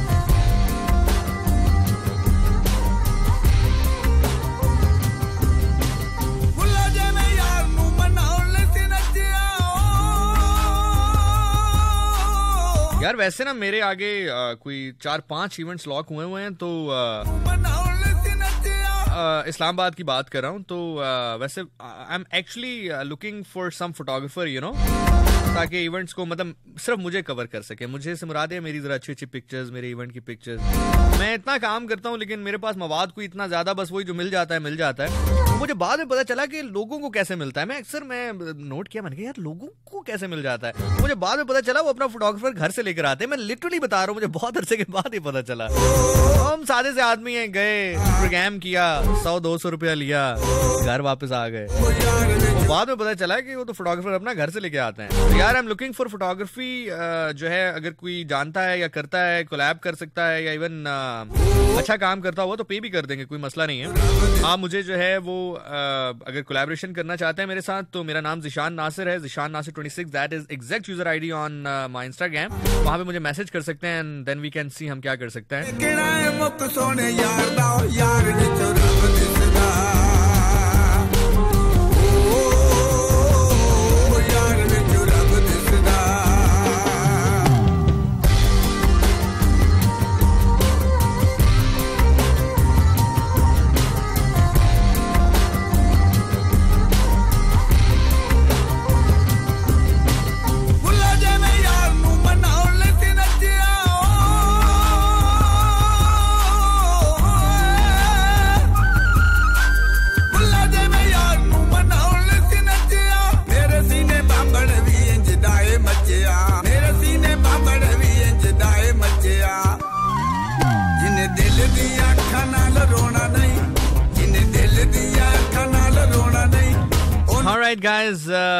नेक्स्ट क्वेश्चन शामिल करते हैं, जिसका मैं ज़िक्र भी कर रहा था क्योंकि वक्त कम है और मुकाबला जो है वो काफ़ी सख्त है। बिना नाम लिए हम जो है इसके ऊपर गुफ्तु करते हैं क्योंकि अमूमी तौर पे जब भी मैं एक चीज़ का सेगमेंट करता हूँ या कुछ इस तरह के सवाल को डील करता हूँ, जिनका ताल्लुक बहुत जो है वो ज़ाती नौीयत का होता है तो हम नाम नहीं लेते हैं, हम आइडेंटिटी को रिवील नहीं करते हैं due to the privacy concern so that's why जी सवाल हमारे पास क्या है? मैं एज इट इज़ पहले सवाल पढ़ देता हूँ और फिर उसके बाद उसका आंसर करता हूँ। I want to keep my identity anonymous for personal reasons, but let you know that I live in Pakistan from past three years. Uh, भाई कहते हैं कि जी मैं पाकिस्तान में पिछले तीन साल से रह रहा हूँ। I have done my graduation in aeronautical engineering from Australia Uh, firstly, I would admire you regarding helping out people about their issues. I want to get answer of my question is uh, as I'm having puzzling issue in my life regarding having children. भाई कहते हैं कि मेरी ज़िंदगी में issue चल रहा है बच्चों के हवाले से। अब वो क्या है? आगे पढ़ते हैं। I am currently not married मैं अभी शादीशुदा नहीं हूँ but do intend to get married लेकिन मैं चाहता हूँ कि मैं शादी करूँ और मैं सोच रहा हूँ कि मैं शादी करूँ। The matter that is confusing me whatever I want to become a parent or not whether I want to become a parent or not कह रहे हैं, जो चीज़ मुझे कंफ्यूज कर रही है, वो ये कर रही है, क्या मैं औलाद इस दुनिया में लेकर आऊँ पेरेंट बनूं, वालिद बनूं या ना बनूं though it's widely observe and assume that children and marriage go hand in hand but I have a different point of view I believe that having children is a decision that every couple should make consciously instead of assuming it's obligatory. I lean towards avoiding having children as far as I am concerned. I have always observed my father who has been away from us to earn and we see him once in blue moon. His life seems like it has no purpose except for uh, except for providing for his children. I have also seen that people face a lot of hassle and trouble due to their children ranging from upbringing, grooming, financial responsibilities. Education bring there for them emotionally and many people are careless about their children since they have never took this decision uh, consciously so they take it for granted due to which child suffer a lot.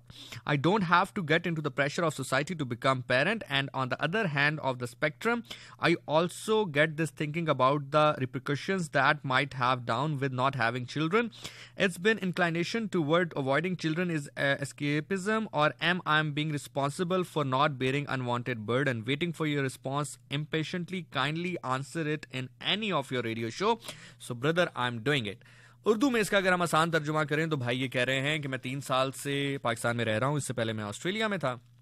और आ, मैं जो है आ, शादी तो करना चाहता हूँ लेकिन मैं औलाद इस दुनिया में नहीं लाना चाहता क्योंकि मुझे ऐसा लगता है कि ये एक ऐसा फैसला है जिसकी वजह से औलाद को बहुत ज़्यादा सफ़र करना पड़ता है, बहुत मुसीबत सहनी पड़ती है। मेरे अपने वालिद जो हैं, वो मुल्क से बाहर रहे, हम उनको बहुत कम देखा करते थे, उनसे बहुत कम मिला करते थे। ऐसा लगता था कि उनकी ज़िंदगी का कोई पर्पज़ नहीं है, कोई मकसद नहीं है, उनका वाहिद मकसद हमें कमा कर देना है और हमें पालना है। जिसकी वजह से मुझे ऐसा लगता है कि बहुत सारे लोग शादी करके बच्चे इस दुनिया में ले आते हैं और फिर उनको सही तरह से उनका ख्याल नहीं रखते हैं, क्योंकि ये फैसला उन्होंने नहीं लिया होता है यू नो अपने सोचे समझे मंसूबे के तहत ये फैसला नहीं लिया होता। अच्छा ब्रदर सबसे पहली चीज़ तो ये है कि मुझे नहीं पता कि आप ऑस्ट्रेलिया में शुरू से रहे हैं, ऑस्ट्रेलियन बॉर्न हैं, और पाकिस्तान में सिर्फ़ तीन साल से हैं या पाकिस्तान आप आते जाते रहे हैं? दोनों सूरतों में आपको मैं अप्रिशिएट ज़रूर करना चाहूँगा, वो इसलिए करना चाहूँगा कि अगर आप पाकिस्तान में भी रहे हैं और या आप ऑस्ट्रेलियन बॉर्न भी हैं ऑस्ट्रेलिया में भी रहे हैं और पाकिस्तान अभी आए हैं तो कम से कम आपको इतना ज़रूर पता है कि that you want to get married ठीक है? ये एक बहुत बड़ी चीज़ है। uh, हमारे यहाँ मोस्टली क्या है? uh, हमारे यहाँ मोस्टली लोग डिनाइल मोड में हैं। डिनाइल मोड यानी कि उनको लगता है कि उनको ये चीज़ नहीं चाहिए। फॉर एग्ज़ाम्पल उनको पता है कि उनको ये चीज़ चाहिए लेकिन वो उसका इनकार करते हैं। जैसे फॉर एग्ज़ाम्पल मुझे अगर प्यास लगी है तो मैं कहूँ नहीं जी मुझे नहीं लगी। इसको डिनाइल मोड कहता है। सो आप एटलीस्ट डिनाइल मोड में नहीं है. At least you want to get married because आपको पता है कि एक some stage of your life आपको ये ख्याल आएगा कि कोई शख्स ज़िंदगी में होना चाहिए जो आपके साथ रहे आप बीमार हों तो आपको गोली खिला दे पानी पिला दे. सो so, आप चाहते हैं कि आप शादी करें लेकिन औलाद इस दुनिया में नहीं लाना चाहते हैं. तो ब्रदर हमेशा ये एक चीज़ ज़िंदगी में याद रखिएगा कि जो भी काम आप ज़िंदगी में करते हैं और ख़ास तौर पर जो काम अल्लाह ने आपके लिए डिज़ाइन किया होता है, उसका कोई ना कोई मकसद है। मैं आपके लिए एग्ज़ाम्पल रखता हूँ। आप रोज़ा रखते हैं तो उसका एक मकसद तो ये होता है कि यू नो आप फास्टिंग अल्लाह की जो है इबादत कर रहे हैं। आप भूखे रहते हैं मेडिकल इसके बड़े फ़ायदे हैं। फिर उसके अलावा आपको ये एहसास होता है कि जो शख्स भूखा रहता है सारा दिन, वो कैस, क्या फील करता होगा? फिर आप उस एहसास को दिल में रखते हुए उसको खाना खिलाता है। और इस तरह के छोटे छोटे मामला आते हैं। अब शादी करने का जो सबसे बड़ा मकसद होता है ना, वो दो मकसद होता है। चूँकि हम जरा प्रैक्टिकली चीज़ों को लेकर चलते हैं तो प्रैक्टिकल बात ही करते हैं जो हकीकत है। देखिए, एक सबसे बड़ा मकसद ये होता है कि आप किसी दूसरे शख्स के साथ होना चाहते हैं। मैं इन्वर्टेड कॉमर्स में बात करूँगा, क्योंकि छोटे छोटे बच्चे भी सुन रहे होते हैं। शादी का बहुत बड़ा मकसद है ये। वाहिद मकसद नहीं है, लेकिन शादी के जो पहले तीन बड़े मकसद हैं, उनमें से पहला बड़ा मकसद यही होता है कि आप किसी शख्स के साथ होना चाहते हैं। चाहे आप मेल हैं या फीमेल हैं, हम डिजाइंड किए गए हैं इस तरह कि एक सर्टन पॉइंट पर आकर हमें किसी दूसरे शख्स का साथ चाहिए होता है। अब आप डिनाइल मोड में रहें, आप उसको अंग्रेज़ी में आके तरह तरह के नाम है, मुझे आते हैं मैं लेना नहीं चाहता यहाँ पे, उसको आप तरह तरह के नाम दे दें कि मैं ये हूँ, मैं ये हूँ, मैं ये हूँ मतलब यू नो साइकोलॉजी में दो चार नाम ऐसे मुश्किल मुश्किल से ढूंढ निकालें। तो वो एक अलग बात है। अदरवाइज़ इस दुनिया में जो शख्स पागल है जिसको आप बाहिर पागल कहते हैं अगर आप उससे भी पूछे तो उसके भी तीन तीन बच्चे होते हैं ठीक है? तो इट्स नॉट बीइंग फनी लेकिन मैं आपको रियल बात बता रहा हूँ ठीक है? दस दस भी होते हैं बाहर से इशारा हुआ। सो so, मैं आपसे ये अर्ज़ कर रहा हूँ कि एक सर्टन पॉइंट पे आके आपको इस चीज़ का एहसास होता है। अब उसकी दो चीज़ें होती हैं। या तो ऑब्वियसली जो बाकी जगहों पर होता है। मैं ये नहीं कहूँगा कि बाकी ममालिक में होता है, पाकिस्तान में भी होता है। ऐसा तो नहीं है कि पाकिस्तान में गुनाह बिल्कुल होता ही नहीं है। पाकिस्तान में भी होता है, दूसरे मुल्कों में भी, जो दूसरे जराए हैं, जो भी एक्स वाई जेड हैं, या तो आप उनकी जानब चले जाते हैं, या फिर एक ऐसा तरीका जो कि दुनिया भर में मौजूद है। ऐसा भी नहीं कि शादी सिर्फ़ पाकिस्तान में या यू नो इंडिया में मौजूद है। इंग्लैंड में भी लोग शादियाँ ही करते हैं। मतलब जो मुस्लिम नहीं है, वो भी शादियाँ करते हैं।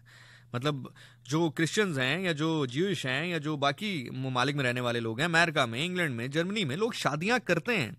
ये शायद हमारी बड़ी गलत एक रविश है कि शायद हम लोग शादी करते हैं और वो लोग ओपन रिलेशनशिप में रहते हैं। वो भी शादियाँ करते हैं। उनके यहाँ भी जो मुकदस चीज़ मान, मानी जाती है वो शादी ही बेसिकली मानी जाती है।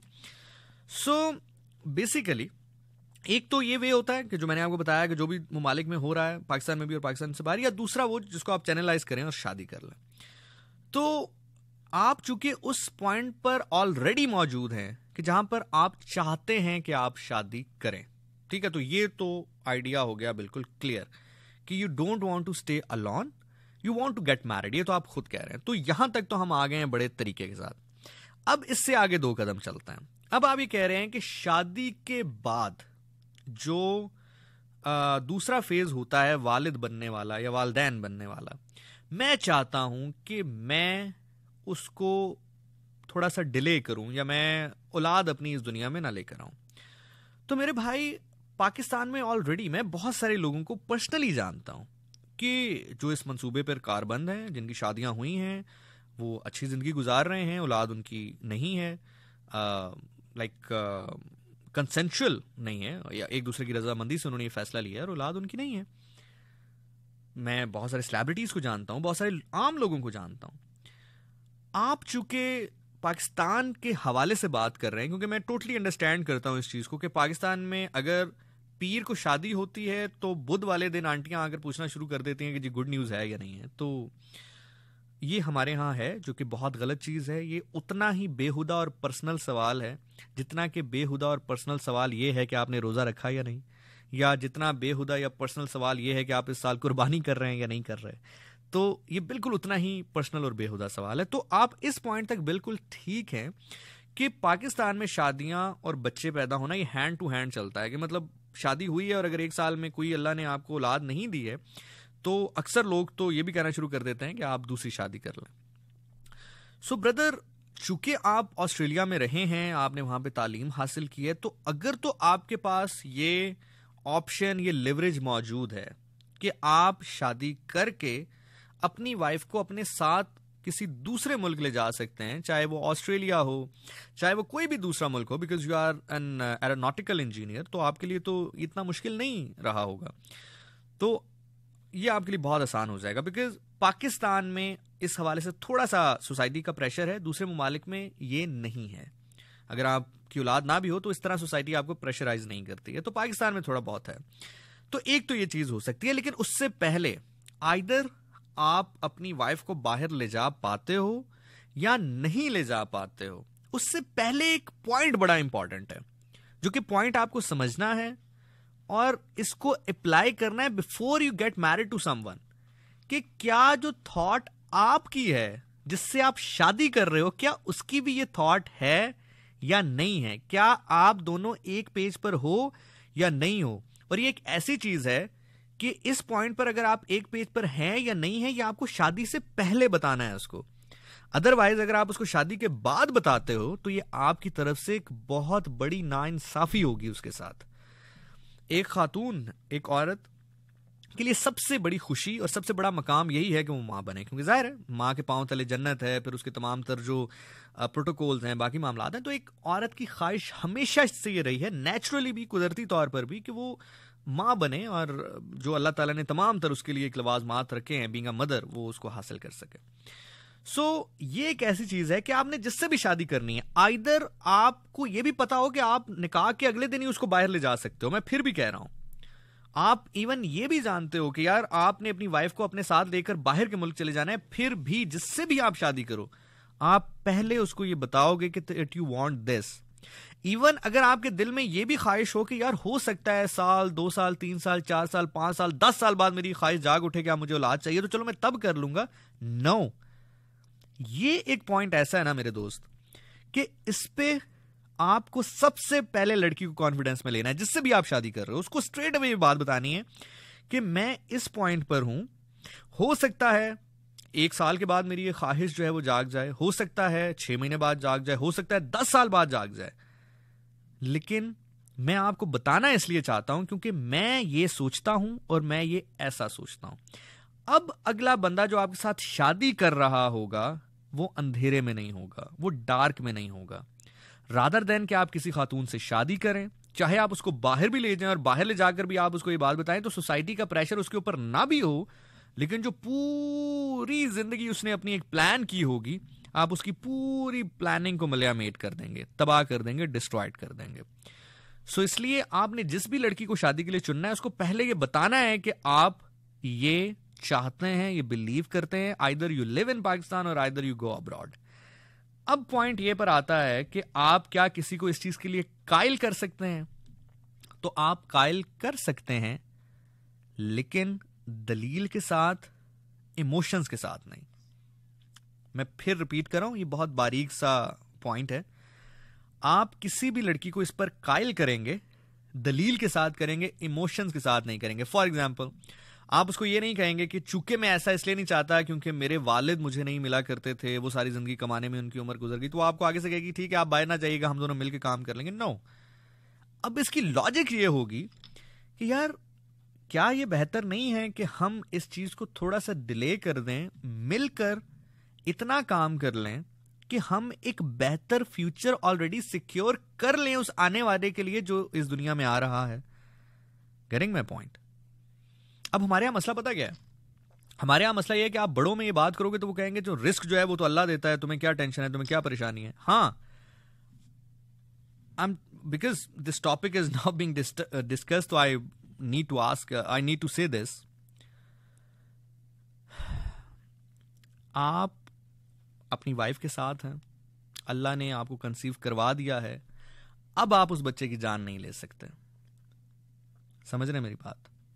आपका प्लान था either you want that child or not दोनों सूरतों में, अब आप उस बच्चे को अबॉर्ट नहीं करेंगे, उसकी जान नहीं लेंगे, क्यों? क्योंकि रिस्क अल्लाह देता है, अब वो थीरी यहाँ पर लग रही है।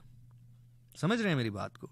ये जो लोग अक्सर आपसे कहते हैं ना कि रिस्क देने वाली जात अल्लाह की है, जो आने वाला है, वो अपना रिस्क लेकर आता है, वो जो पॉइंट है या वो जो थीरी है, वो यहाँ पर एप्लीकेबल होती है। कि you conceived either you want it or not अब आप उस बच्चे को अबॉर्ड नहीं करेंगे, उसकी जान नहीं लेंगे आप। अब वो दुनिया में आएगा, क्यों? क्योंकि जिसने उसके जिसम में रू डाली है, वो उसके मुँह में रोटी भी डालेगा।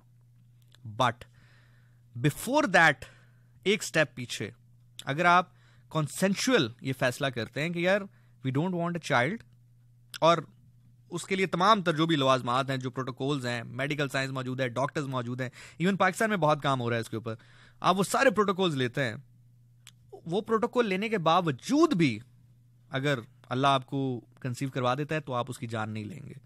अगर वो प्रोटोकॉल्स आप फॉलो करते रहते हैं, दस साल आप एक साथ रहें विदाउट अ बेबी सो कोई मसला नहीं है इसमें। सो द पॉइंट इज़ आप उसको कायल इस तरह करेंगे कि मैं ये ये सोचता हूँ कि हम आइदर एक ऐसा फ्यूचर बच्चे का सिक्योर कर लें देन फिर हम उसको इस दुनिया में लेकर आए, ताकि अगर वो इस दुनिया में आए भी तो हमें ये टेंशन ना हो कि अब इसके प्रेजेंट का हवाले से हमने क्या करना है या इसके फ्यूचर के हवाले से हमने क्या करना है। और आप उसको इवन ये भी बताएँगे कि ये भी हो सकता है कि सब कुछ होने के बावजूद भी because I believe you are an aeronautical engineer आप अगर अपने वालिद की बात कर रहे हैं तो ठीक है, वो एक दौर था, वो गुजर गया, लेकिन आप माशाल्लाह इतना तो कमा ही सकते होंगे कि आप एक बेबी या एक औलाद तो अफोर्ड कर ही सकते हैं, लेकिन स्टिल आप नहीं चाहते हैं। तो ये भी आप उसको बताएँगे कि it's not only about the financial thing सिर्फ़ ये नहीं है कि मैं पैसे की वजह से कह रहा हूँ, हो सकता है मैं ज़िम्मेदारी भी ना लेना चाहता हूँ। ये भी आप उसको हकीकत बताएँगे। इतने अंधेरे में भी नहीं रखना कि यार फाइनेंशियल टर्म्स की वजह से, क्योंकि हो सकता है कल को आप कोई लॉटरी लग जाए आपकी, हो सकता है कोई अल्लाह ताला आपको मालदार कर दे, वो आपसे फिर कहेंगे, ले जी, अब तो ये मामला हल हो गया। फिर आप क्या कहेंगे उनको? तो इसलिए आपने हर जाविया जो इस हवाले से खुल सकता है, वो आपने उसके साथ शेयर करना है कि भाई, मैं, हो सकता है मैं, वो भी ना लेना चाहता हूँ। ज़िम्मेदारी भी ना लेना चाहता हूँ। अब सवाल यहाँ पर यह पैदा होता है कि क्या ऐसा कोई होगा जो ऐसी सोच रखता होगा तो जवाब है हाँ। बहुत सारे लोग मुआरे में मौजूद हैं, बहुत सारी खातन मुआरे में मौजूद हैं, बहुत सारे ऐसे मर्द मौजूद हैं। अब सही या गलत का फैसला करने वाले ना तो हम जज हैं, ना हमारा ये मामला है। लेकिन अगर आपकी थॉट से मुताबकत रखती हुई कोई खातून आपको मिलती हैं, जो कि बहुत आसान है मेरे ख्याल से, आजकल के दौर में तो इट्स प्रिटी ईजी आजकल के दौर में तो आप यकीन करें, मुझे लगता है कि वो दूसरी साइड वाली जो थॉट है, वो मिलनी मुश्किल है कि आप घर बनाएँ हाउस वाइफ रहें, बच्चे हों, वो वो शायद मिलनी थोड़ी सी मुश्किल है to be very honest and to be very frank ये जो आप वाली थॉट है, ये तो शायद मिलनी बहुत आसान है। अगर आप थोड़ा सा इस पर वर्कआउट करेंगे तो आपको काफ़ी बेहतर और अच्छे ऑप्शन मिल जाएँगे और लोग इसको अप्रिशिएट करेंगे। अब हालाँकि मैं आपको एक मज़े की बात बताऊँ इसमें। चलिए इसमें मैं ऐड कर देता हूँ। अब ये कहते हुए भी डर लगता है कि जी, मेरा दिल करता है कि मेरी बीवी को खाना बनाने आता हो। हालाँकि एक ऐसी चीज़ है जो कि बड़ी बेसिक है और बड़ी मोहब्बत वाली है। मतलब आपको लिटरली इस, जिस एरा में अब हम दाखिल हो चुके हैं मतलब आप किसी लड़की से अगर शादी करना चाह रहे हो, अगर पूछा जाए आपसे कि जी कैसी लड़की चाहते हैं तो ये जुमला कहते हुए भी आप चाहते हैं कि मैं चाहता हूँ जी मेरी बीवी खाना बड़ा अच्छा बनाती हूँ। वो अगला बंदा आपको कहता है, क्या तुम उसको नौकरानी बनाने के लिए ला रहे हो? हालाँकि इट्स नॉट अबाउट बिंग नौकरानी। देखें, मर्द और औरत कभी बराबर नहीं हो सकता। किसी मकाम पर मर्द इतना ऊपर है कि औरत उसके पाँव तक नहीं पहुँच सकती। किसी मकाम पर औरत इतनी ऊपर है कि मर्द उसके पाँव के नाखून तक नहीं पहुँच सकता। क्यों? ये अल्लाह ताला ने मर्तबे सेट किए हैं। अल्लाह ताला ने इंसान की जरूरियात सेट की हैं। अल्लाह ताला ने इंसान की पूरी जो ज़िंदगी है, उसको डिज़ाइन किया है। ठीक है? तो मर्द की एक नेचर में है कि कोई हो जो उसका ख्याल रखे। मैं आपको एक मज़े की बात बताता हूँ। मैं हमेशा इसको बिलीव करता हूँ और मैंने हमेशा ये नोट भी किया है। अब हमारी जो फैमिली की छोटी छोटी बच्चियाँ हैं, उनमें बाकी आसपास मेरे, हमेशा मेरा मोस्टली इंटरेक्शन जो है वो फीमेल से ही रहा। मेरी बॉसेस जो हैं वो मोस्टली फीमेल्स रहीं। प्रोड्यूसर्स मेरी फीमेल्स रहीं। कोलीग्स ज़्यादा फीमेल्स रहीं। फ़ैन ज़्यादा फीमेल्स रहीं। लड़की की उम्र जो भी हो जो एक फीमेल है चाहे वो चार साल की हो या चालीस साल की हो उसके अंदर एक माँ मौजूद होती है। आप कभी नोट करें वो कभी अपनी गुड़िया के साथ वो बच्चों वाला लाड कर रही होती है जैसे माँ अपने बच्चे के साथ करती है। आ, कभी आ, वो अपने चॉकलेट के साथ कभी अपने भाई के साथ वो हमेशा कोई ना कोई चीज़ ढूंढती है चाहे वो चार साल की है या चालीस साल की है उसको कोई ना कोई चाहिए जिसपे वो अपना लाड निछावर कर सके जैसे माँ अपना लाड निछावर कर सकती है। और ऑन दी अदर हैंड आप ये चीज़ भी नोट कीजिए जो मर्द है, जो लड़का है, चाहे वो दो साल का है, बीस साल का है, पचास साल का है, हमेशा उसको कोई एक ऐसी खातून चाहिए होती है जो कि उसकी माँ की तरह उसका ख्याल रखे, उसको अटेंशन दे। मैं हकीकत बता रहा हूँ आपको। तो इसी तरह being a male you want somebody to take care of you to cook a food for you to serve the food to you अब लिटरली ये बात कहते हुए बंदा डरता है कि जी मेरी बीवी को खाना अच्छा बनाते हैं, अगला कह देता है, जी आप नौकरानी बनाने ला रहे हैं उसको। सो जो आपकी थॉट है बैक टू द पॉइंट उस पर तो किसी का मिलना बहुत ज़्यादा आसान है, इतना ज़्यादा मिलना उसका जो है, वो मुश्किल नहीं है। लेकिन ब्रदर ये तो सारी वो चीज़ें हो गई हैं, ये तो सारे वो मामला हो गए हैं, जो कि you know can be or can not be हैं। अब एज अ ब्रादराना मशरा मैं आपको एक दे रहा हूँ। देखें यार, मैंने आपसे कहा था ना कि बेसिकली शादी के दो मकसद उनमें से एक मकसद मैंने आपको बताया था, दूसरा मैंने दानिस्ता नहीं बताया था। दानिस्ता से मुराद ये है कि मैंने जानबूझकर नहीं बताया, क्योंकि मैं चाहता था कि मैं पहले ये पूरा आपको जो लॉजिकल या प्रैक्टिकल व्यू है वो दिखा दूँ और फिर दूसरे मकसद की जाने पाऊँ क्योंकि अगर मैं आपको दूसरा मकसद साथ ही बता देता तो ये आपकी जो पूरी बेस है वो आपको नज़र ना आ रही होती। और आपको ऐसा लगता कि कोई शख्स वही बातें आपके साथ रिपीट करके आपके सामने रख रहा है जो मोस्टली आप सुनते आए होंगे। तो ये प्रैक्टिकल व्यू देखने के बाद अब आते हैं दूसरे पॉइंट के ऊपर जो शादी का दूसरा बड़ा मकसद है। शादी का जो दूसरा सबसे बड़ा मकसद है मेरे दोस्त, वो है family banana. This is the most the second most important thing if you want to get married जब आप शादी करते हैं तो यही वजह होती है कि आप फैमिली बनाना चाहते हैं। अदरवाइज़ जैसे मैंने आपसे कहा कि जो ताल्लुक शादी के बंधन में बंधने के बाद होता है, वो बाहर, मैं फिर कह रहा हूँ, मैं इसको प्रमोट नहीं कर रहा, लेकिन पाकिस्तान में भी होता है, पाकिस्तान से बाहर भी होता है, करने को लोग कर लेते हैं। इवन दो जितना खर्चा एक बीवी पे होता है, शायद उससे, शायद नहीं, बल्कि यकीनी तौर पर उससे बहुत कम खर्चा बाकी मामला में हो सकता है। मैं अगेन इन्वर्टेड कॉमर्स में बात कर रहा हूँ। उससे कम खर्चा बाकी मामला में अगर वो बाहर रहे तो बाकी मामला में उससे कम खर्चा होता है, लेकिन नहीं, मर्द शादी करता है, क्यों? औरत इवन शादी करती है, क्यों? मतलब औरत बहुत सारी जिम्मेदारियाँ अपने सर पे लेती है, अपना घर छोड़ती है, अपने माँ बाप को छोड़ती है, अपना करियर इवन समटाइम छोड़ती है शादी करने के लिए। क्यों? क्योंकि वो फैमिली बनाना चाहती है। इसी तरह मर्द भी शादी करता है एक्स्ट्रा रिस्पॉन्सिबिलिटीज अपने ऊपर लेता है। क्यों? क्योंकि वो फैमिली बनाना चाहता है। तो मेरे दोस्त, शादी का जो एक दूसरा सबसे बड़ा मकसद है, वो फैमिली बनाना ही है। लेकिन अब गलती कहाँ पर हो जाती है हमसे अब पॉइंट ये है कि हमसे गलती कहाँ पर हो जाती है? अगर इसका मकसद यही है तो फिर क्यों ऐसा गलत क्या हो जाता है? गलत ये हो जाता है, शादी करके फैमिली बनाना मकसद है, लेकिन शादी करके एक साल के अंदर फैमिली बनाना मकसद नहीं है। समझ रहे मेरी बात? इट्स नॉट ऑब्लिगेटरी मैं आपको मिसाल देता हूँ। अल्लाह ने आपसे कहा कि निकाह करो, लेकिन उसने कहीं पर यह नहीं कहा कि साथ ही औलाद भी लेकर आनी है तुमने इस दुनिया में।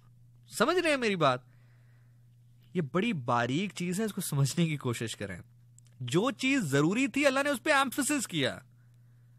जो चीज़ ज़रूरी थी ना, जो मौके पर ज़रूरी चीज़ थी, अल्लाह ने उस पर एम्फोसिस किया कि निकाह कर। निकाह कर लो। शादी कर लो। हुक्म दिया इसका। फॉर एग्ज़ाम्पल चले और मिसाल देता हूँ। अल्लाह के नबी सल्लल्लाहु अलैहि वसल्लम का फरमान है कि जो इस्तात होने के बावजूद निकाह ना करे, वो हम में से नहीं।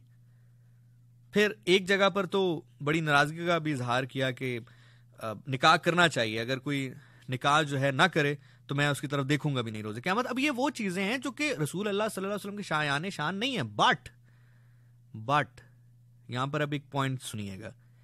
बाज अवत चीज़ें अल्लाह के नबी सल्लल्लाहु अलैहि वसल्लम ने इसलिए भी फरमाई हैं कि उनकी इंपॉर्टेंस का अंदाज़ा लगाया जा सके। मैं एग्ज़ाम्पल देता हूँ। कोई शख्स आया कहा कि जी ये चोर बड़े घराने से इसको माफ़ कर दें। कहा, तुमसे पहले कौमें इसलिए बर्बाद हो गई क्योंकि छोटा जुर्म करता था, उसको पकड़ लेते थे, ताकतवर को छोड़ देते थे। मेरी बेटी फातिमा रजल तला भी अगर चोरी करती, मैं उसकी भी हाथ कटवा देता। आप जरा एक मिनट के लिए सोचें, कहाँ पर बीबी फातिमा तो जारा सलाम उल्ला कहाँ पर वो? कि कायनात तो है ही उनकी, उन्होंने ज़िंदगी में किसी से क्या चीज़ ले सकती हैं लेकिन कायनात ही उनकी है। लेकिन क्यों ये बात फरमाई? लोगों को इंपॉर्टेंस बताने के लिए। लोगों को उसकी अहमियत बताने के लिए कि ये इतनी ज़रूरी चीज़ है कि अगर ये ऐसा होता तो मैं अपनी बेटी के हवाले से भी ये चीज़ बर्दाश्त ना करता। इतनी इंपॉर्टेंट चीज़ है ये। तो इसी तरह ऑन दी अदर हैंड अल्लाह के नबी सल्लल्लाहु अलैहि वसल्लम ने ये नहीं कहा कि जो शादी करने के बाद औलाद ना लेकर आए तो मैं उसकी तरफ़ नहीं देखूँगा। ये नहीं कहा। क्यों? कि जो चीज़ इंपॉर्टेंट है, उसका हुक्म दिया। सो ब्रदर फैमिली बनाना मकसूद ज़रूर है। लेकिन इमीडिएटली फैमिली बनाना मकसूद बिल्कुल नहीं है। सो जस्ट गेट मैरिड शादी करने से पहले, मैं फिर, जैसे मैंने पहले भी आपसे अर्ज़ किया, कि शादी करने से पहले आप उस खातून को सब कुछ बताएँ, हर जाविये से। और उसको ये भी बताएँ कि ऐसा नहीं है कि मैं, हो सकता है आई वॉन्टेड टू क्योंकि इवेंचुअली मैं आपको एक बात बताऊँ ब्रदर एक सर्टन पॉइंट पर आकर आपको ये लगता है कि औलाद भी होनी चाहिए। और मैं एक दफ़ा सफ़र कर रहा था सफ़र इश्क पे था। आपने मुझे बड़ा पुराना दौर अपना याद करवा दिया। मैं एक दरबार पे एक बुज़ुर्ग से मिला। मैंने उनसे कहा कि, बाबा जी, लोग कहते हैं कि वक्त हर जख्म को भर देता। जो वक्त होता है वो हर जख्म को भर देता। लेकिन कुछ जख्म ऐसे होते हैं जो वक्त के साथ साथ और गहरे हो जाते हैं। उन जख्मों का बंदा क्या करे? तो बाबा जी ने फरमाया कि तुम्हें वक्त से भी ज़्यादा बड़े मरहम का बताऊँ। तो मैंने उसका बताइए। तो उन्होंने कहा कि बेटा, औलाद एक ऐसा मरहम है जो आपका हर जख्म भर देती है। ब्रदर, मैं आपको एक बात बताऊँ कि हो सकता है जो आपके अंदर ये डर है, वो डर सिर्फ़ उस छोटे से बच्चे का हो जो कि आपने बचपन में देखा है अपने अंदर। हो सकता है कि वो छोटा सा बच्चा कहीं आपके अंदर डर के बैठ गया होता है। बचपने में जब हमारे साथ कुछ गलत होता है, वो एक वॉइड हमारे अंदर रह जाता है। हो सकता है कि आप रिस्पॉन्सिबिलिटी से ज़्यादा बींग फादर रिस्पॉन्सिबिलिटी से ज़्यादा वो बच्चा डर रहा हो बाहर आने से। वो जो आपके अंदर का बच्चा है, वो आपको डरा रहा हो कि देखो, तुम अपने बाप को अरसों नहीं देखा करते थे। देखो, तुम्हारे बाप ने सारी ज़िंदगी कमाने पे लगा दी। देखो, तुम्हारे साथ बचपने में ये हुआ है, किसी और बच्चे के साथ बचने, बचपने में ये ना हो।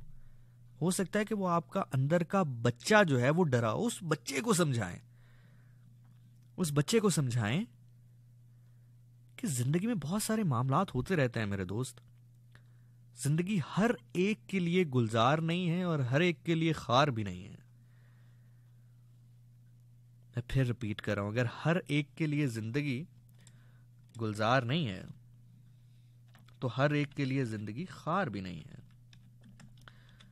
सो ब्रदर जैसे मैंने आपसे पहले भी कहा कि एक टाइम आता है, एक पॉइंट आता है, जिसमें इंसान उस पॉइंट पर पहुँच जाता है, उस जगह पर पहुँच जाता है, जहाँ पर जैसे भी आपको ये लग रहा है कि you want to get married हो सकता है एक पॉइंट ऐसा भी आए जहाँ पर आपको ये भी लगे कि आप शादी भी करना चाहते हैं। शादी करने के बाद आप, औलाद भी आपके पास होनी चाहिए। So that is the answer of your question I hope you'll get it इसकी दो प्रैक्टिकल बातें मैंने आपको बता दी हैं। पहली ये कि आप जिससे भी शादी करें, उसको सब कुछ सच सच और साफ़ बताएँ। और ऐसी खातून मिलना मुश्किल नहीं है, मैं आपको पर्सनल एक्सपीरियंस बता रहा हूँ। हो सकता है एक पॉइंट आए, आप औलाद चाहें, वो ना चाहे।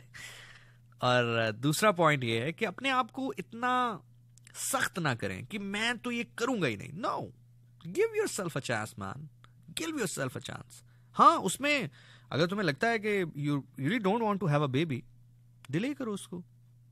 गेट मैरिड एक दूसरे को समझो, बल्कि एक और बात मैं आपको बताऊँ। अब ये चीज़ शायद थोड़ी सी लोगों को बुरी लगे, लेकिन अगर मेरा बस चले ना, अगर मेरा बस चले, मैं इस्लामिकली बात नहीं कर रहा, मैं लॉफुल बात नहीं कर रहा, मैं वैसे जनरल एक बात कर रहा हूँ। अगर आप मुझसे पूछें तो कम से कम पहला साल तो मियाँ बीवी को गुजारना ही ऐसे चाहिए, ताकि एक दूसरे को समझ सकें कि क्या वो एक दूसरे के साथ ज़िंदगी भी गुजार सकते हैं कि नहीं। फिर औलाद दुनिया में लेकर आए। पहले तो एक साल, पहला साल तो एक दूसरे को इतना देखें कि क्या आप ज़िंदगी भी एक दूसरे के साथ गुजार सकते हैं। क्या आप एक दूसरे को बर्दाश्त भी कर सकते हैं for the rest of life या नहीं? फिर औलाद इस दुनिया में लाने का सोचें। अगर आप मेरे से पूछते हैं तो। So, इसलिए बहुत ज़्यादा अपने आप को सख्त ना करें। Give yourself a time for it don't get in that बहुत ज़्यादा जल्दी इसमें ना करें।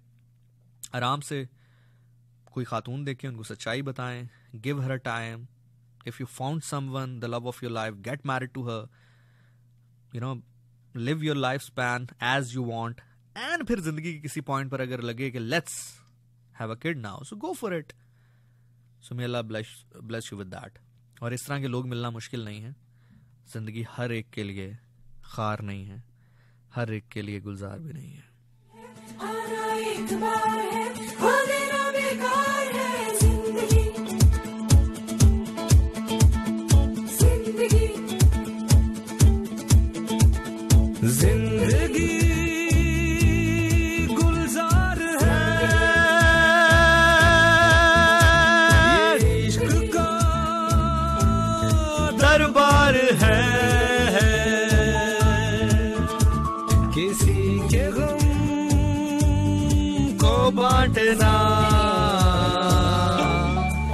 प्यार है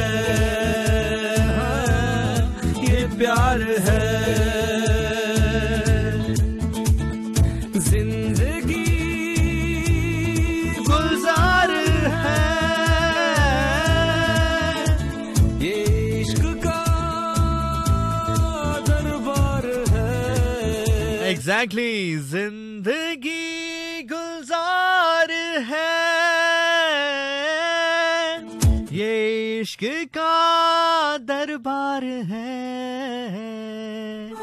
किसी के गम को बांटना ही बस प्यार है हो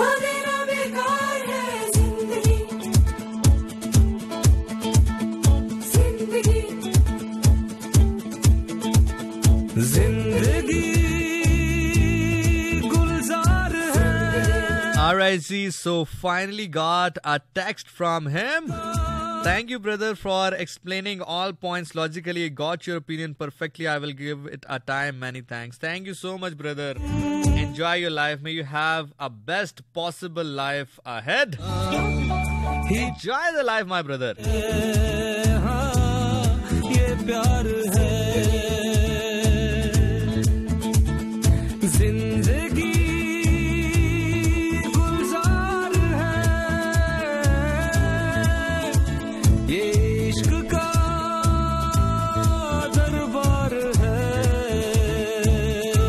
मेरा नाम जिशान नासिर है, आप मुझे साथ साथ मैसेज कर सकते हैं मेरे इंस्टाग्राम अकाउंट पर।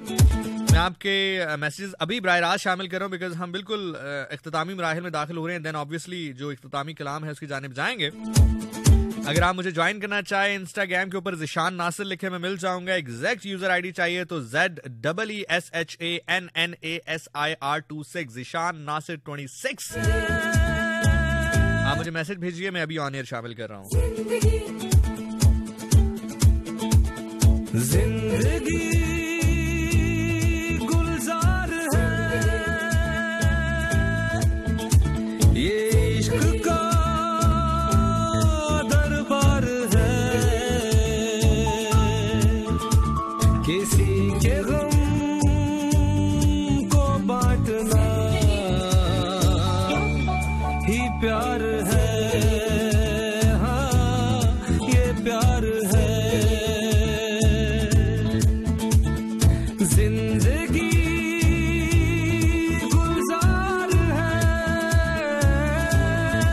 हमारे साथ मौजूद हैं और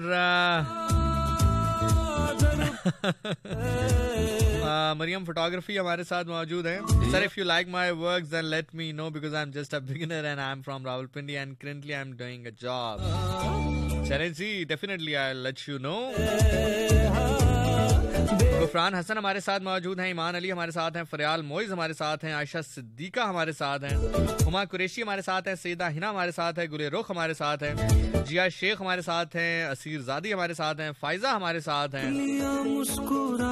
सोनिया फरहाद हमारे साथ हैं nice advice brother thank you जी इशरत हमारे साथ हैं जारा मलिक हमारे साथ हैं साइमा मीर हमारे साथ हैं तो ज़िंदगी बेसकून हो तो क्या किया जाए? दूसरों के लिए सुकून खरीद लें आपको मुफ़्त में मिल जाएगा। बिस्मा कदीर हमारे साथ हैं कह रहे हैं how nicely you cover this sensitive topic thank you Bisma.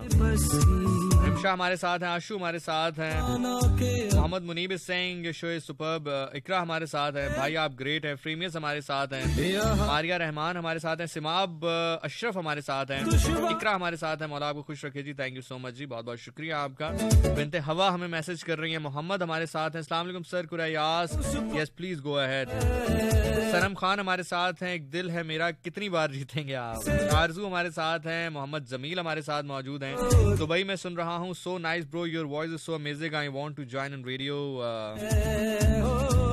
Amna Yasir हमारे साथ हैं। जिशान भाई, अपना कांटेक्ट नंबर दे दें। नहीं बेटा, ये पॉसिबल नहीं है। आप यहीं पे मैसेज कर दीजिए जो करना चाहती हैं। आयश कुरेशी हमारे साथ हैं। Islam Asha from Barakahu nice programme माशाल्लाह। थैंक यू जी थैंक यू रिजा नसीर हमारे साथ है। नदीम अख्तर हमारे साथ हैं। जी once again thank you so much किसी लाइबा हमारे साथ हैं गुफरान हसन हमारे साथ हैं, गुलाम मौला अली हमारे साथ हैं, शहजादी हमारे साथ है, आयशा सदीका हमारे साथ हैं, गुले रुख हमारे साथ हैं। एंड हेयर वी गो मैंने कहा ना कि एक सर्टेन पॉइंट आता है जहाँ पर you need someone to be with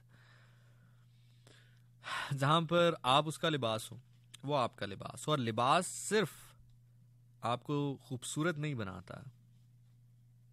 आपके ऐप भी छुपाता है। हो सकता है, कभी आप किसी को देखेंगे, उसने बहुत ही खूबसूरत टक्सीडो पहना हो, एक बहुत ही खूबसूरत पैंट कोट पहना हो, लेकिन हो सकता है अगर आप उस कोट को उतारें, एक कहानी भी थी ना मिस्टर चिप्स में, जब हम आई थिंक फ़र्स्ट ईयर में थे गालिबन मिस्टर चिप्स के नाम से एक बुक थी, उसमें ओवर कोट एक कहानी थी फ़र्स्ट ईयर में पढ़ी थी हमने। आप उसका कोट उतारें तो हो सकता है कि उसके अंदर जो उसकी बुनियान है, उसमें सुराख हो, या उसके जिसम पे बदनुमा दाग हो।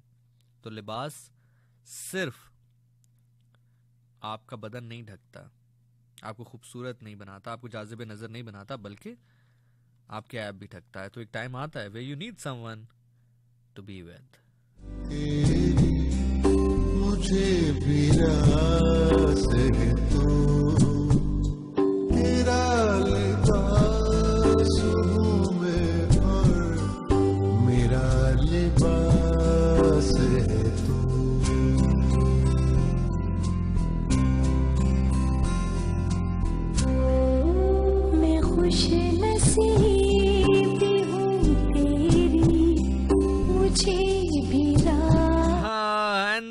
बेस्ट लाइन इज़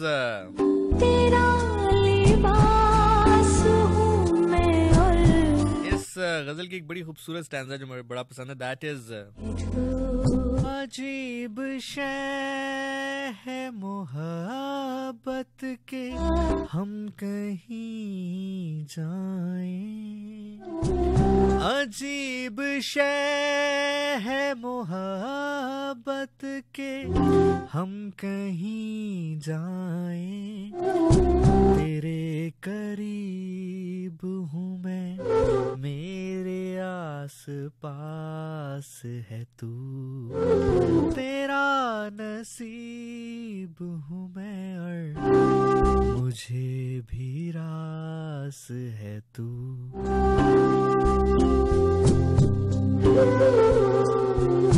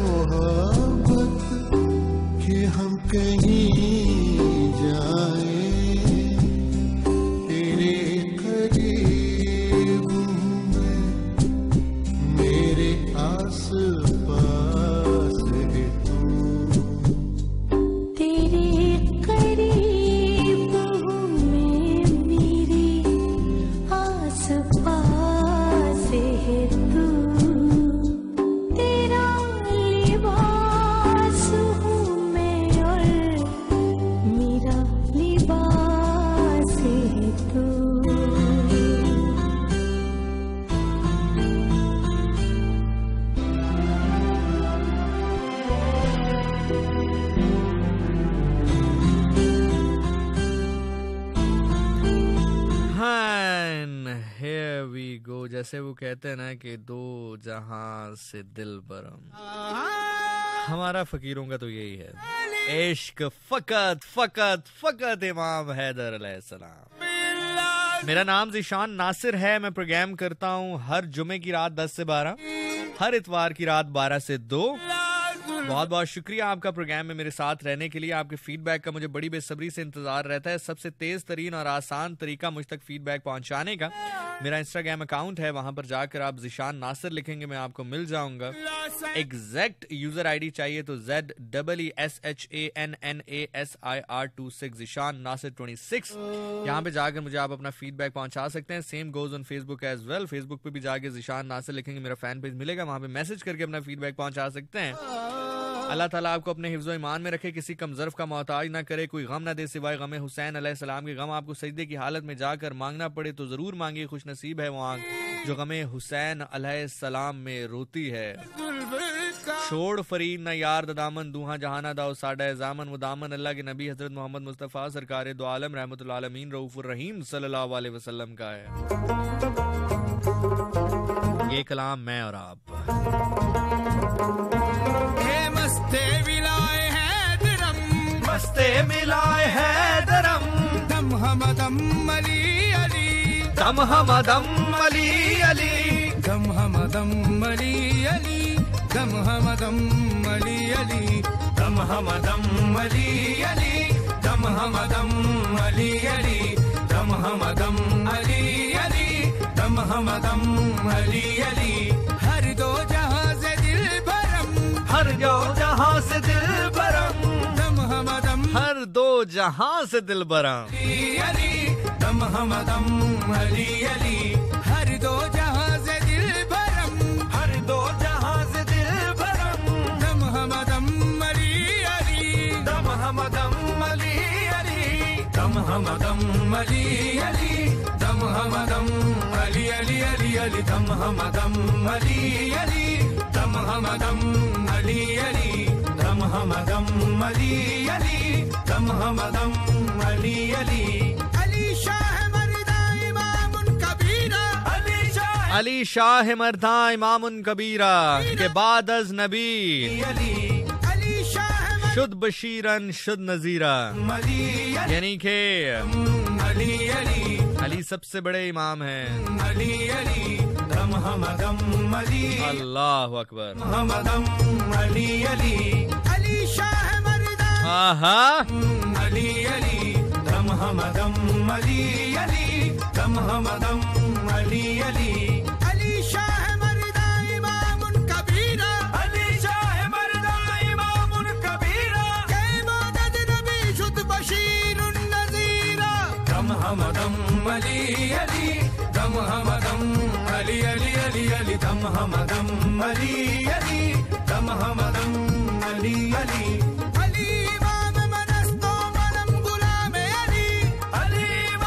अली इमाम मनस्तो मनम गुलाम अली। हज़ार जाने गिरामी फिदाए बा नामे अली।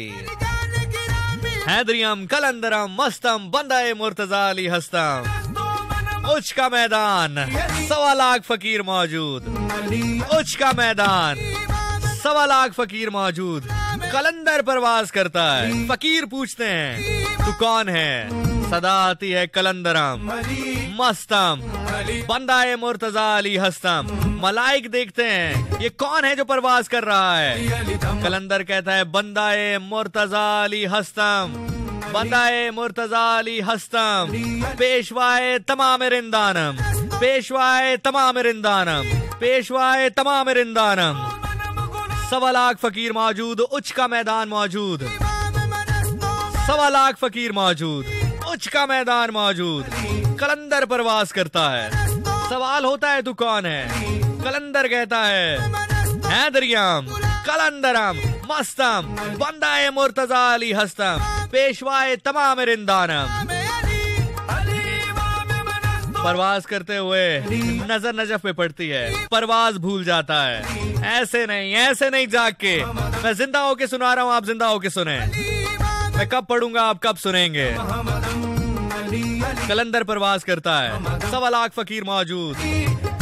सवाल होता है, तू कौन है? कलंदर कहता है, हैदरियम, कलंदरम, मस्तम, बंदाए मुर्तजा अली हस्तम, पेशवाए तमाम रिंदानम, पेशवाए तमाम रिंदानम, पेशवाए तमाम रिंदानम। नज़र नजफ में पड़ती है, परवाज भूल जाता है। नाक के बल गोता लगाकर, हाथ कदमों पर लगाकर कहता है, कुए शेरे यजदानम। आपके दर का तो मैं फकीर हूँ अली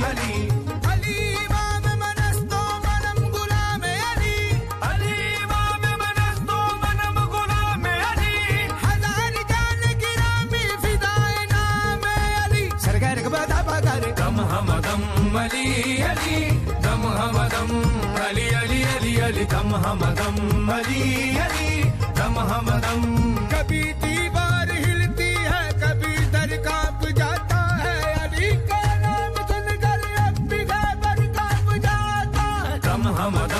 लि अलिम् हमदम् अली अली अली अलि धम् हमदम्।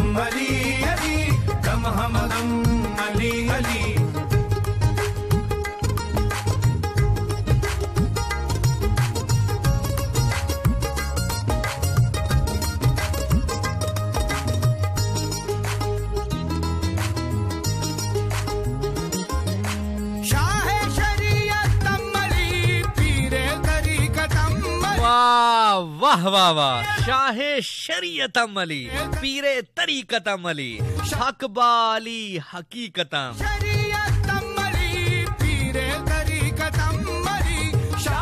शरीयतम अली पीरे तरीकतम अली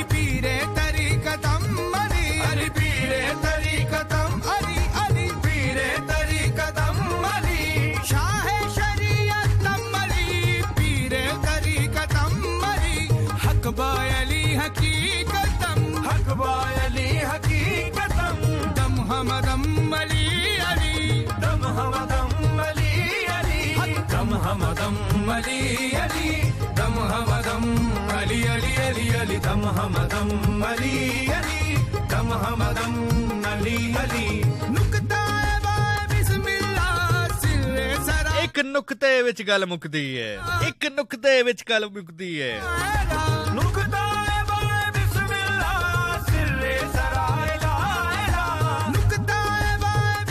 शऊर और शोर के दरमियान। तोहफा अदा कर रहा हूँ आपको। शऊर और शोर के दरमियान सिर्फ़ एन का फ़र्क है। शोर और शूर के दरमियान सिर्फ़ एन का फ़र्क है और वही एन अली हैं।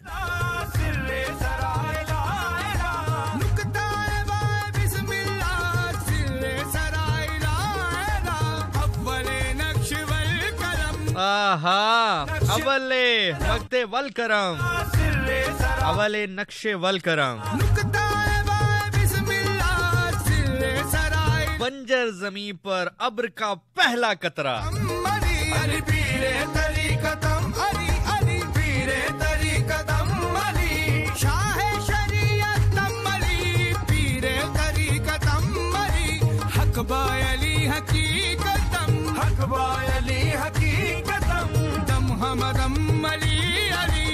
नजफ का जर्रा ना दूँ आफ्ताब के बदले। नजफ का जर्रा ना दूँ आफ्ताब के बदले। नालू में अर्श। दर्रे अबू तुर्राब के बदले।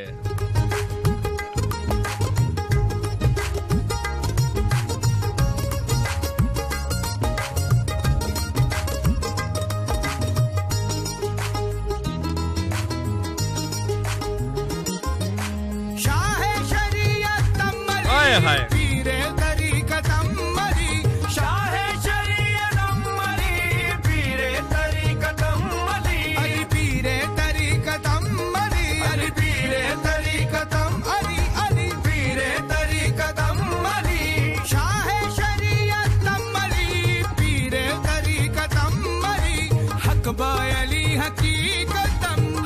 जनाब इसी के साथ मुझे दीजिए इजाज़त। ज़िंदगी ने सांसों ने और सबसे बढ़कर अगर अल्लाह ने मौका दिया तो आपसे मुलाकात होगी अब जुम्मे की रात 10 बजे। टिल देन अपना बहुत ख्याल रखिएगा, आपके फीडबैक का रहेगा मुझे इंतज़ार। फीडबैक देने के लिए इंस्टाग्राम पे जिशान नासिर लिखे मैं आपको मिल जाऊँगा।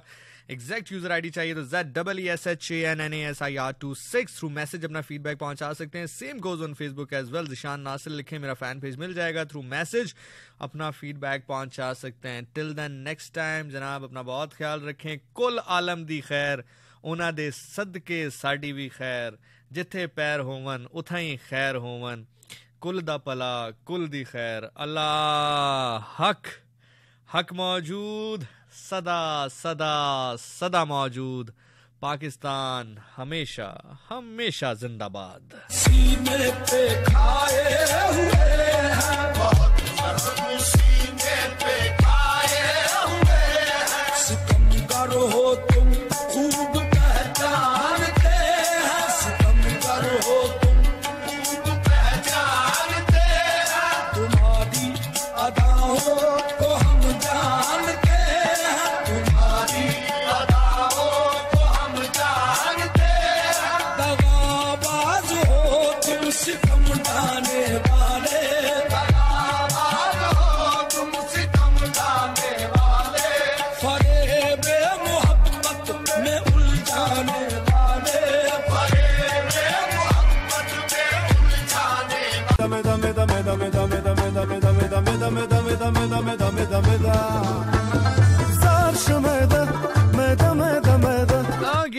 सो हम स्टार्ट करते